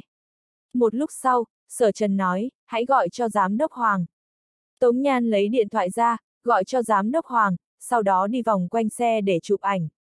Sở Trần, anh nghĩ là ai đã làm? Tống Nhan sắc mặt có chút khó coi. Sở Trần mỉm cười, anh trong khoảng thời gian này đã trêu chọc không ít, nhưng mà đây là tòa nhà Kim Than. Tống Nhan cũng nghĩ đến điều này. Tòa nhà Kim Than, đây là địa bàn của nhà họ Hoàng. Thiên Thành, ai dám lỗ mãng đắc tội. Giám đốc Hoàng vội vàng cùng bảo vệ đi tới, nhìn thấy cảnh tượng trước mắt, sắc mặt của giám đốc Hoàng trở nên biến sắc. Gọi ngay cho giám sát và tra rõ việc này. Giám đốc Hoàng dứt khoát ra lệnh và lập tức đến gặp sở trần, tôi hứa trong vòng một ngày sẽ cho hai vị một câu trả lời. Tổn thất hôm nay sẽ do tòa nhà Kim Than chịu trách nhiệm, điều tương tự tuyệt đối sẽ không xuất hiện lần thứ hai. Sở Trần mỉm cười, vậy liền vất vả cho giám đốc Hoàng rồi. Sở Trần nắm tay Tống Nhan, bà xã, chúng ta về nhà ăn tối đi. Đi ra đường lớn, hai người cũng không có vội vàng đón xe trở về, bọn họ tản bộ dọc theo hai hàng cây bên đường nhỏ. Thấy Tống Nhan vẫn còn đầy tâm sự nặng nề, sở trần không khỏi cười nói, bà xã à, đừng suy nghĩ quá nhiều, người nên suy nghĩ nhiều bây giờ phải y à người nhà họ Hoàng. Tống Nhan ngẩng đầu nhìn sở trần, chuyện này, thật sự không phải do người nhà họ Hoàng làm sao. Chỉ ít qua biểu hiện của giám đốc Hoàng có thể thấy hắn ta thực sự không biết gì, trừ khi kỹ năng diễn xuất của hắn quá xuất thần nhập hóa. Sở Trần nói, nếu như không phải, vậy thì điều này có nghĩa là, trong thiền thành có người muốn thách thức nhà họ Hoàng. Hiện tại chúng ta không phải làm gì cả, chỉ cần đợi nhà họ Hoàng cho chúng ta một câu trả lời. Con đường dập bóng cây với những đốm nắng sen kẽ in trên mặt đất. Có thể là do những người khác trong nhà họ Hoàng làm, và giám đốc Hoàng cũng không biết chuyện này thì sao. Tống Nhan đột nhiên đoán được, ví dụ như Hoàng Ngọc. Cũng không phải vấn đề. Sở Trần cười, bà xã, em thật đẹp. Tống Nhan, không có cách nào nói chuyện tiếp được nữa biệt thự nhà họ Hoàng, tin tức đã truyền về. Tòa nhà Kim Than là tài sản của nhà họ Hoàng Đu Hoàng Ngũ ra quản lý. Có người đã tạt sơn đỏ lên xe của sở trần trong bãi đậu xe của tòa nhà Kim Than, đây không phải rõ ràng là muốn tiếp tục châm ngòi mối quan hệ của sở trần cùng nhà họ Hoàng sao. Hoàng Ngọc Hải cao mày, trầm giọng nói nói, tối hôm qua sở trần còn vừa tới cửa để bồi tội, ông nội cùng sở trần còn trò chuyện rất vui vẻ, hiện tại đột nhiên xảy ra chuyện như vậy, sở trần sẽ nghĩ như thế nào? Châm ngòi ly rán, Hoàng ngũ ra tên là Hoàng Lân lúc này lạnh lùng nói, mặc kệ là ai làm, nhà họ Hoàng tuyệt đối không cho phép để người như vậy khiêu khích trước mặt. Ca, kỳ môn thuật của anh có thể tính toán được không? Hoàng Tú Tú đột nhiên nói. Mặt của Hoàng Ngọc Hải đột nhiên trở nên khó coi. Một lúc sau, hắn chậm rãi lắc đầu, ta đang dự định hai ngày tới, sẽ trở về sư môn, cầu xin sư phụ tha thứ. Bằng không, đời này ta sẽ không thể sử dụng kỳ môn thuật. Nói đến, cũng là bởi vì sở trần. Hoàng Tú Tú nói, chuyện hôm nay, nếu chúng ta có thể cho sở trần một câu trả lời thỏa đáng. Có lẽ, sư phụ của ca liền sẽ vui vẻ.